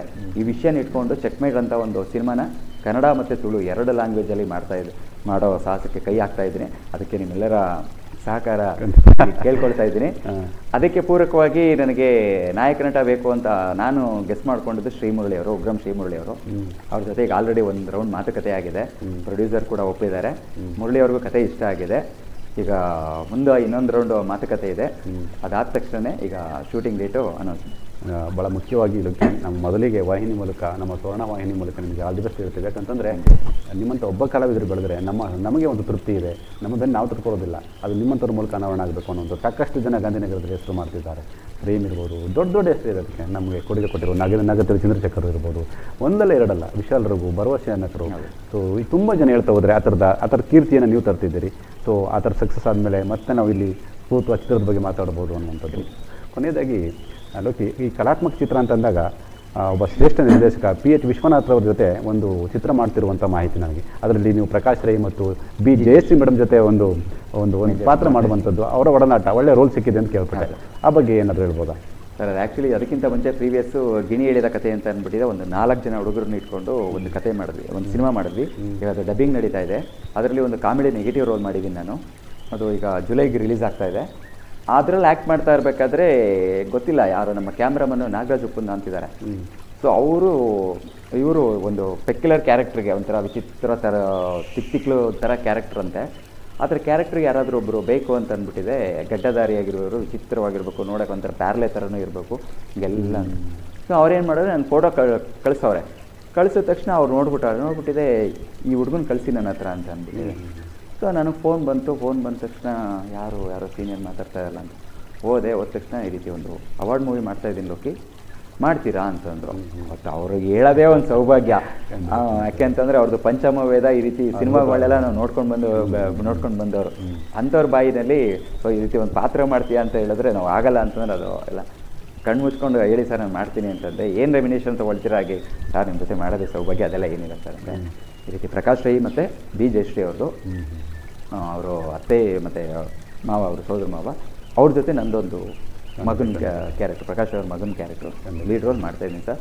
ಇದೇ ಹದಿನೇಳು ಹದಿನ ಹತ್ತು ಹದಿನೇಳು ಹದಿನೆಂಟರಿಂದ ಕಾರವಾರ ಸಿರಿಸಿ ಆ ಕಡೆ ಎಲ್ಲ ಶೂಟಿಂಗ್ ಸ್ಟಾರ್ಟ್ ಆಗಿದೆ. ಇಪ್ಪತ್ತೈದು ಜನ ಶೆಡ್ಯೂಲ್ ಇದೆ. ಅದು ಆ ಥರದ ಒಂದು ಚಿತ್ರ ಅವಾರ್ಡ್ ಕಲಾತ್ಮಕ ಚಿತ್ರ ಅವಾರ್ಡ್ ಮೂವಿ ಬಹುಶಃ ನಿಮಗೂ ಕೂಡ ಆ ಪಾತ್ರಕ್ಕೆ ಅವಾರ್ಡ್ ಬರಲಿ. ಹೆಚ್ಚು ಪ್ರಶಂಸೆ ಬರಲಿ ಅನ್ನುವಂಥದ್ದು ಲೋಕಿ. ಅದಕ್ಕೆ ಕಾರ್ಯಕ್ರಮದ ಕೊನೆಯಲ್ಲಿ ಒಂದು ಪ್ರಯತ್ನ ನಮ್ಮದು ಸ್ವರ್ಣ ವಾಹಿನಿ. ಮೊದಲೇ ಇಂಟ್ರಡಕ್ಷನ್ ಕೊಟ್ಟಂಗೆ ದೊಡ್ಡ ದೊಡ್ಡವ್ರನ್ನ ಜೊತೆ ಮಾತನಾಡೋದು ಅದೊಂದು ವಿಶೇಷಗಾರಿಕೆ ಅಲ್ಲ. ನಮ್ಮ ಮುಂದೆ ಬೆಳೆದ ವ್ಯಕ್ತಿಗಳು, ನಮ್ಮ ಮುಂದೆ ಬೆಳೆದಂಥ ಕಲಾವಿದರು ಒಂದಷ್ಟು ಸಾಧನೆ ಮಾಡ್ತಾರೆ. ಆ- ಮೂಲಕ ನಮ್ಮ ನಮ್ಮ ನಾಡಿಗೆ, ನಮ್ಮ ಜಿಲ್ಲೆಗೆ ಕೀರ್ತಿ ತರ್ತಾರೆ ಅಂತಂದರೆ ಅದು ನಮಗೂ ಖುಷಿ ಕೊಡುವಂಥ ಸಂದರ್ಭ. ಬಹುಶಃ ಅದು ಅದನ್ನು ನೀವೆಲ್ಲ ಮಾಡ್ತಾ ಇದ್ದೀರಾ? ನಮಗೂ ಕೂಡ ಖುಷಿ ಕೊಡ್ತಾ ಇದೆ. ನಾವು ಪ್ರತಿದಿನ ನಿಮ್ಮ ಸಂಚಿಕೆಗಳನ್ನ ನೋಡ್ತೀವಿ, ಖುಷಿ ಪಡ್ತೀವಿ. ನಮ್ಮ ಹುಡುಗ ಮಣ್ಯದ ಹುಡುಗ ಅಲ್ಲಿ ಕೆಲಸ ಮಾಡ್ತಿದ್ದಾರೆ ಅನ್ನುವಂಥ ದೈನ್ಯ ಭಾವ ನಮಗಿದೆ ಅನ್ನುವಂಥದ್ದು. ಇದೊಂದು ಸಣ್ಣ ಪ್ರಯತ್ನ, ಇದು ದೊಡ್ಡಗಾರಿಕೆ ಅಲ್ಲ. ಈ ಈ ಸಂಚಿಕೆ ಬಗ್ಗೆ ನಿಮ್ಮ ಅಭಿಪ್ರಾಯ ಏನು? ಬಗ್ಗೆ ಸಜ್ಜಿಗೆ ಬಗ್ಗೆ ನನಗೆ ಮಾತಾಡೋದಕ್ಕೆ ಪದಗಳೇ ಬರಲ್ಲ. ಮೊದಲನೇದಾಗಿ ನೀವು ನನ್ನನ್ನು ತುಂಬ ಹೊಗಳಿ ಹೊಗಳಿ ಶೂಲಿ ಕೆರೆಸ್ಬಿಟ್ರೆ. ಆ ನಿರೂಪಣೆ ಅಂತ ಹೇಳಿದ್ರಲ್ಲ ಸರ್ ನೀವು ಮೊದಲನೇ ಕ್ವಶನ್ ಕಾರ್ಯಕ್ರಮದ ಮುಖಾಂತರ ಮೊದಲನೇ ಕ್ವಶನ್ ಹೇಳಿದ್ರಲ್ಲ ಈ ನಿರೂಪಕರಾಗುವಂಥ ಒಂದು ಉತ್ಸಾಹ ಬಂದಿದ್ದೇ ನಮಗೆ ನಿಮ್ಮನ್ನು ನೋಡಿಕೊಂಡು. ನಾವು ಚಾನಲ್ ಆನ್ ಮಾಡ್ತಿದ್ದಾಗ ನೀವು ಒಂದು ಕಾರ್ಯಕ್ರಮ ನಡೆಸ್ಕೊಡ್ತಾ ಇದ್ರಿ ಸ್ಥಳೀಯ ಈ ರೀತಿ ಅವನ್ನೆಲ್ಲ ಕರೆಸಿ ನಡೆಸ್ಕೊಡ್ತಾ ಇದ್ರಿ. ಅದನ್ನು ನೋಡಿಕೊಂಡು ಮಾತಾಡೋದು ಹೇಗೆ ಅನ್ನೋದನ್ನ ನಾವು ಫಸ್ಟ್ ಕಲ್ತ್ಕೊಂಡವರು ನಾವು. ಸೊ ನಿಮ್ಮನ್ನು ಸ್ಫೂರ್ತಿಯಾಗಿ ಇಟ್ಕೊಂಡು ನಾವು ಆ್ಯಂಕರಿಂಗ್ ಅಂತ ಬಂದವರು. ಈಗ ನಾವು ಹೊಗಳಿಕೆಗೆ ಅರ್ಹನಲ್ಲ ನಾನು. ಹಾಗೆ ಜರ್ನಿ ಮಾಡ್ಕೊಂಡು ಬಂದೆ. ಸೊ ನಾನು ಆ್ಯಂಕರಿಂಗ್ ಮಾಡ್ತಾ ಇದ್ದದ್ದಕ್ಕೆ ನೀವು ಸಂದರ್ಭದಲ್ಲಿ ನೀವು ಟಿಪ್ಸ್ ಕೊಡ್ತಾ ಇದ್ರಿ. ಅದನ್ನೆಲ್ಲ ತೊಗೊಂಡು ಒಂದು ಜರ್ನಿ ಮುಂದುವರ್ಸ್ಕೊಂಡು ಬಂದೆ. ಸೊ ಮುಖ್ಯವಾಗಿ ಸ್ವರ್ಣ ಟಿ ವಿ ಚಾನಲ್ ಈ ಒಂದು ಕಾರ್ಯಕ್ರಮದ ಬಗ್ಗೆ ಹೇಳೋಕ್ಕೆ ಇಷ್ಟಪಡ್ತೀನಿ, ಏನು ಇಷ್ಟಪಡ್ತೀನಿ ಅಂದರೆ, ನೀವು ಹೇಳಿದ ಮತ್ತೆ ಕರೆಕ್ಟ್ ಸರ್ ಈಗ ನಾನು ತುಂಬ ಸಾಧನೆ ಮಾಡಿ ಆನಂತರ ನೀವು ಕರೆದು ನನ್ನನ್ನು ಒಂದು ಬನ್ನಿ ಲೋಕಿ, ಈ ರೀತಿ ಒಂದು ನಿಮ್ಮನ್ನು ವಿಶೇಷವಾಗಿ ಅತಿಥಿಯಾಗಿ ಕಾರ್ಯಕ್ರಮ ಇನ್ವೈಟ್ ಮಾಡ್ತಾ ಇದ್ದೀವಿ, ಬನ್ನಿ ಅಂತ ಅಂದಾಗ, ಅದೇನೋ ಒಂಥರ ಏನೂ ಅನ್ಸೋದಿಲ್ಲ. ಅಯ್ಯೋ, ಬಿಡೋ, ಏನೋ ಒಂದು ಅಚೀವ್ ಮಾಡಿದ್ದೀನಿ, ಇದು ಮಾಡಿದ್ದೀನಿ ಅಂತ ಒಂದು ಇದು ಬಂದ್ಬಿಡುತ್ತೆ, ಭಾವನೆ ಬಂದ್ಬಿಡುತ್ತೆ. ನಾನು ಇನ್ನೂ ಈಗ ತಾನೇ ಹಸುಗುಸಾಗಿ ಕಾಲಿಡ್ತಾ ಇದ್ದೀನಿ. ಸೊ ನನ್ನ ನನ್ನ ನನ್ನ ಒಂದು ಶ್ರಮಕ್ಕೆ ನನ್ನ ಶ್ರಮನ ಗುರುತಿಸಿ, ಇಲ್ಲ ಇದು ಈ- ನಮ್ಮದು ನಮ್ಮ ಮುಂದೆ ಕಣ್ಮುಂದೆ ಬೆಳೆದಂಥ ಹುಡುಗ ಏನೋ ಒಂದು ಮಾಡ್ತಾ ಇದ್ದಾನೆ. ಸೊ ನೀವು ಎಲ್ಲರೂ ಪ್ರೋತ್ಸಾಹ ಕೊಡಿ ಅವನಿಗೆ ಅಂತ ಅಂದ್ಬಿಟ್ಟಿದೆ. ನಿಮ್ಮ ಮುಖಾಂತರ ಒಂದು ಪ್ರೋತ್ಸಾಹ ನನಗೆ ಕೊಡ್ತಾ ಇದ್ದೀರಿ. ನನಗಷ್ಟೇ ಅಲ್ಲ ನನ್ನಂತೆ ಬೆಳೀತಾ ಇರುವಂಥ ಎಲ್ಲ ಪ್ರತಿಭಾಗಿರು ನಟರಾಗಿರ್ಬೋದು ನಿರ್ದೇಶಕರಾಗಿರ್ಬೋದು ಟೆಕ್ನಿಕಲ್ ಟೀಮ್ ಆಗಿರ್ಬೋದು ಇನ್ಯಾವುದೋ ಬೇರೆ ಬೇರೆ ಕ್ಷೇ ಕ್ಷೇತ್ರದಲ್ಲಿ ಗುರುತಿಸಿಕೊಂಡು ಎಲೆಮರೆಕಾಯಿಯಾಗಿರುವಂಥ ಅನೇಕ ಪ್ರತಿಭೆಗಳನ್ನ ಕರೆಸಿ ಅನಾವರಣ ಮಾಡ್ತಾ ಇದ್ದೀರಾ. ಸೊ ಒಂದು ಒಳ್ಳೆಯ ಕಾರ್ಯಕ್ರಮ ನಡೀತಾ ಇದೆ. ಈ ಒಂದು ಸಂಚಿಕೆ ಹತ್ತು ನೂರು ಸಾವಿರ ಲಕ್ಷ ಗಡಿ ದಾಟಲಿ ಅಂತ ಅಂದ್ಬಿಟ್ಟಿದೆ ನಾನು ಈ ಸಂದರ್ಭದಲ್ಲಿ. Thank you thank you Rocky ಭಾಳ ಮುಕ್ತವಾಗಿ ಮಾತನಾಡಿದ್ದಕ್ಕೆ ಭಾಳ ಮುಖ್ಯವಾಗಿ ಈ ಸಂಚಿಕೆಗೆ ಬಂದು ನಿಮ್ಮ ಭಾವನೆಗಳನ್ನು ಹಂಚಿಕೊಂಡಿದ್ದಕ್ಕೆ ತುಂಬ ಕನಸುಗಳನ್ನ ಕಟ್ಕೊಂಡಿದ್ದೀರಿ. ತುಂಬ ಗುರಿ ಇದೆ ನಿಮ್ಮ ಮುಂದೆ, ದಾರಿಗಳಿದೆ. ಆ ಎಲ್ಲ ಸಕ್ಸಸ್ಸು ನಿಮ್ಮದಾಗಲಿ. ಆ ಮೂಲಕ ಸಕ್ಕರ್ ನಾಡಿಗೆ ಮತ್ತೊಂದು ಕಲಾ ಪ್ರತಿಭೆ ಅನಾವರಣಗೊಳ್ಳಲಿ ಆ ಕೊಂಡಿ ಬೆಸಿಗೆ ಜಾಸ್ತಿ ಆಗಲಿ ಅಂತ ಆಶಿಸ್ತಾ, ಅತ್ಯಂತ ಪ್ರೀತಿಯಿಂದ ಬೆಂಗಳೂರಿನಿಂದ ಸಂಚಿಕೆಗೆ ಬಂದಿದ್ದಕ್ಕೆ ಮುಕ್ತವಾಗಿ ಮಾತನಾಡಿದ್ದಕ್ಕೆ ಮಂಡ್ಯ ಜಿಲ್ಲೆಯ ಸಮಸ್ತ ವೀಕ್ಷಕರ ಪರವಾಗಿ, ನಿಮ್ಮ ಗೆಳೆಯರ ಪರವಾಗಿ, ನಿಮ್ಮ ಆತ್ಮೀಯರ ಪರವಾಗಿ, ವಾಹಿನಿ ಪರವಾಗಿ ಹೃತ್ಪೂರ್ವಕವಾದಂಥ ಅಭಿನಂದನೆ ಸಹ ಪ್ರಿಯ ವೀಕ್ಷಕರೇ ಇದಾಗಿತ್ತು ಲೋಕೇಶ್ ಗೌಡರ್ ಅವರೊಂದಿಗಿನ ವಿಶೇಷ ಸಾಧಕರು ಸಂಚಿಕೆ. ಖಂಡಿತ ಈ ಸಂಚಿಕೆ ನಿಮಗೆ ಇಷ್ಟವಾಗಿದೆ ಅಂತ ಭಾವಿಸ್ತಾ ಈ ಕಾರ್ಯಕ್ರಮವನ್ನು ಇಲ್ಲಿಗೆ ಮುಕ್ತಾಯ ಮಾಡ್ತಿದ್ದೇನೆ. ಸ್ವರ್ಣ ಟಿ ವಿ ಇದು ಬಾಂಧವ್ಯಗಳ ಬೆಸುಗೆ. ನಮಸ್ಕಾರ.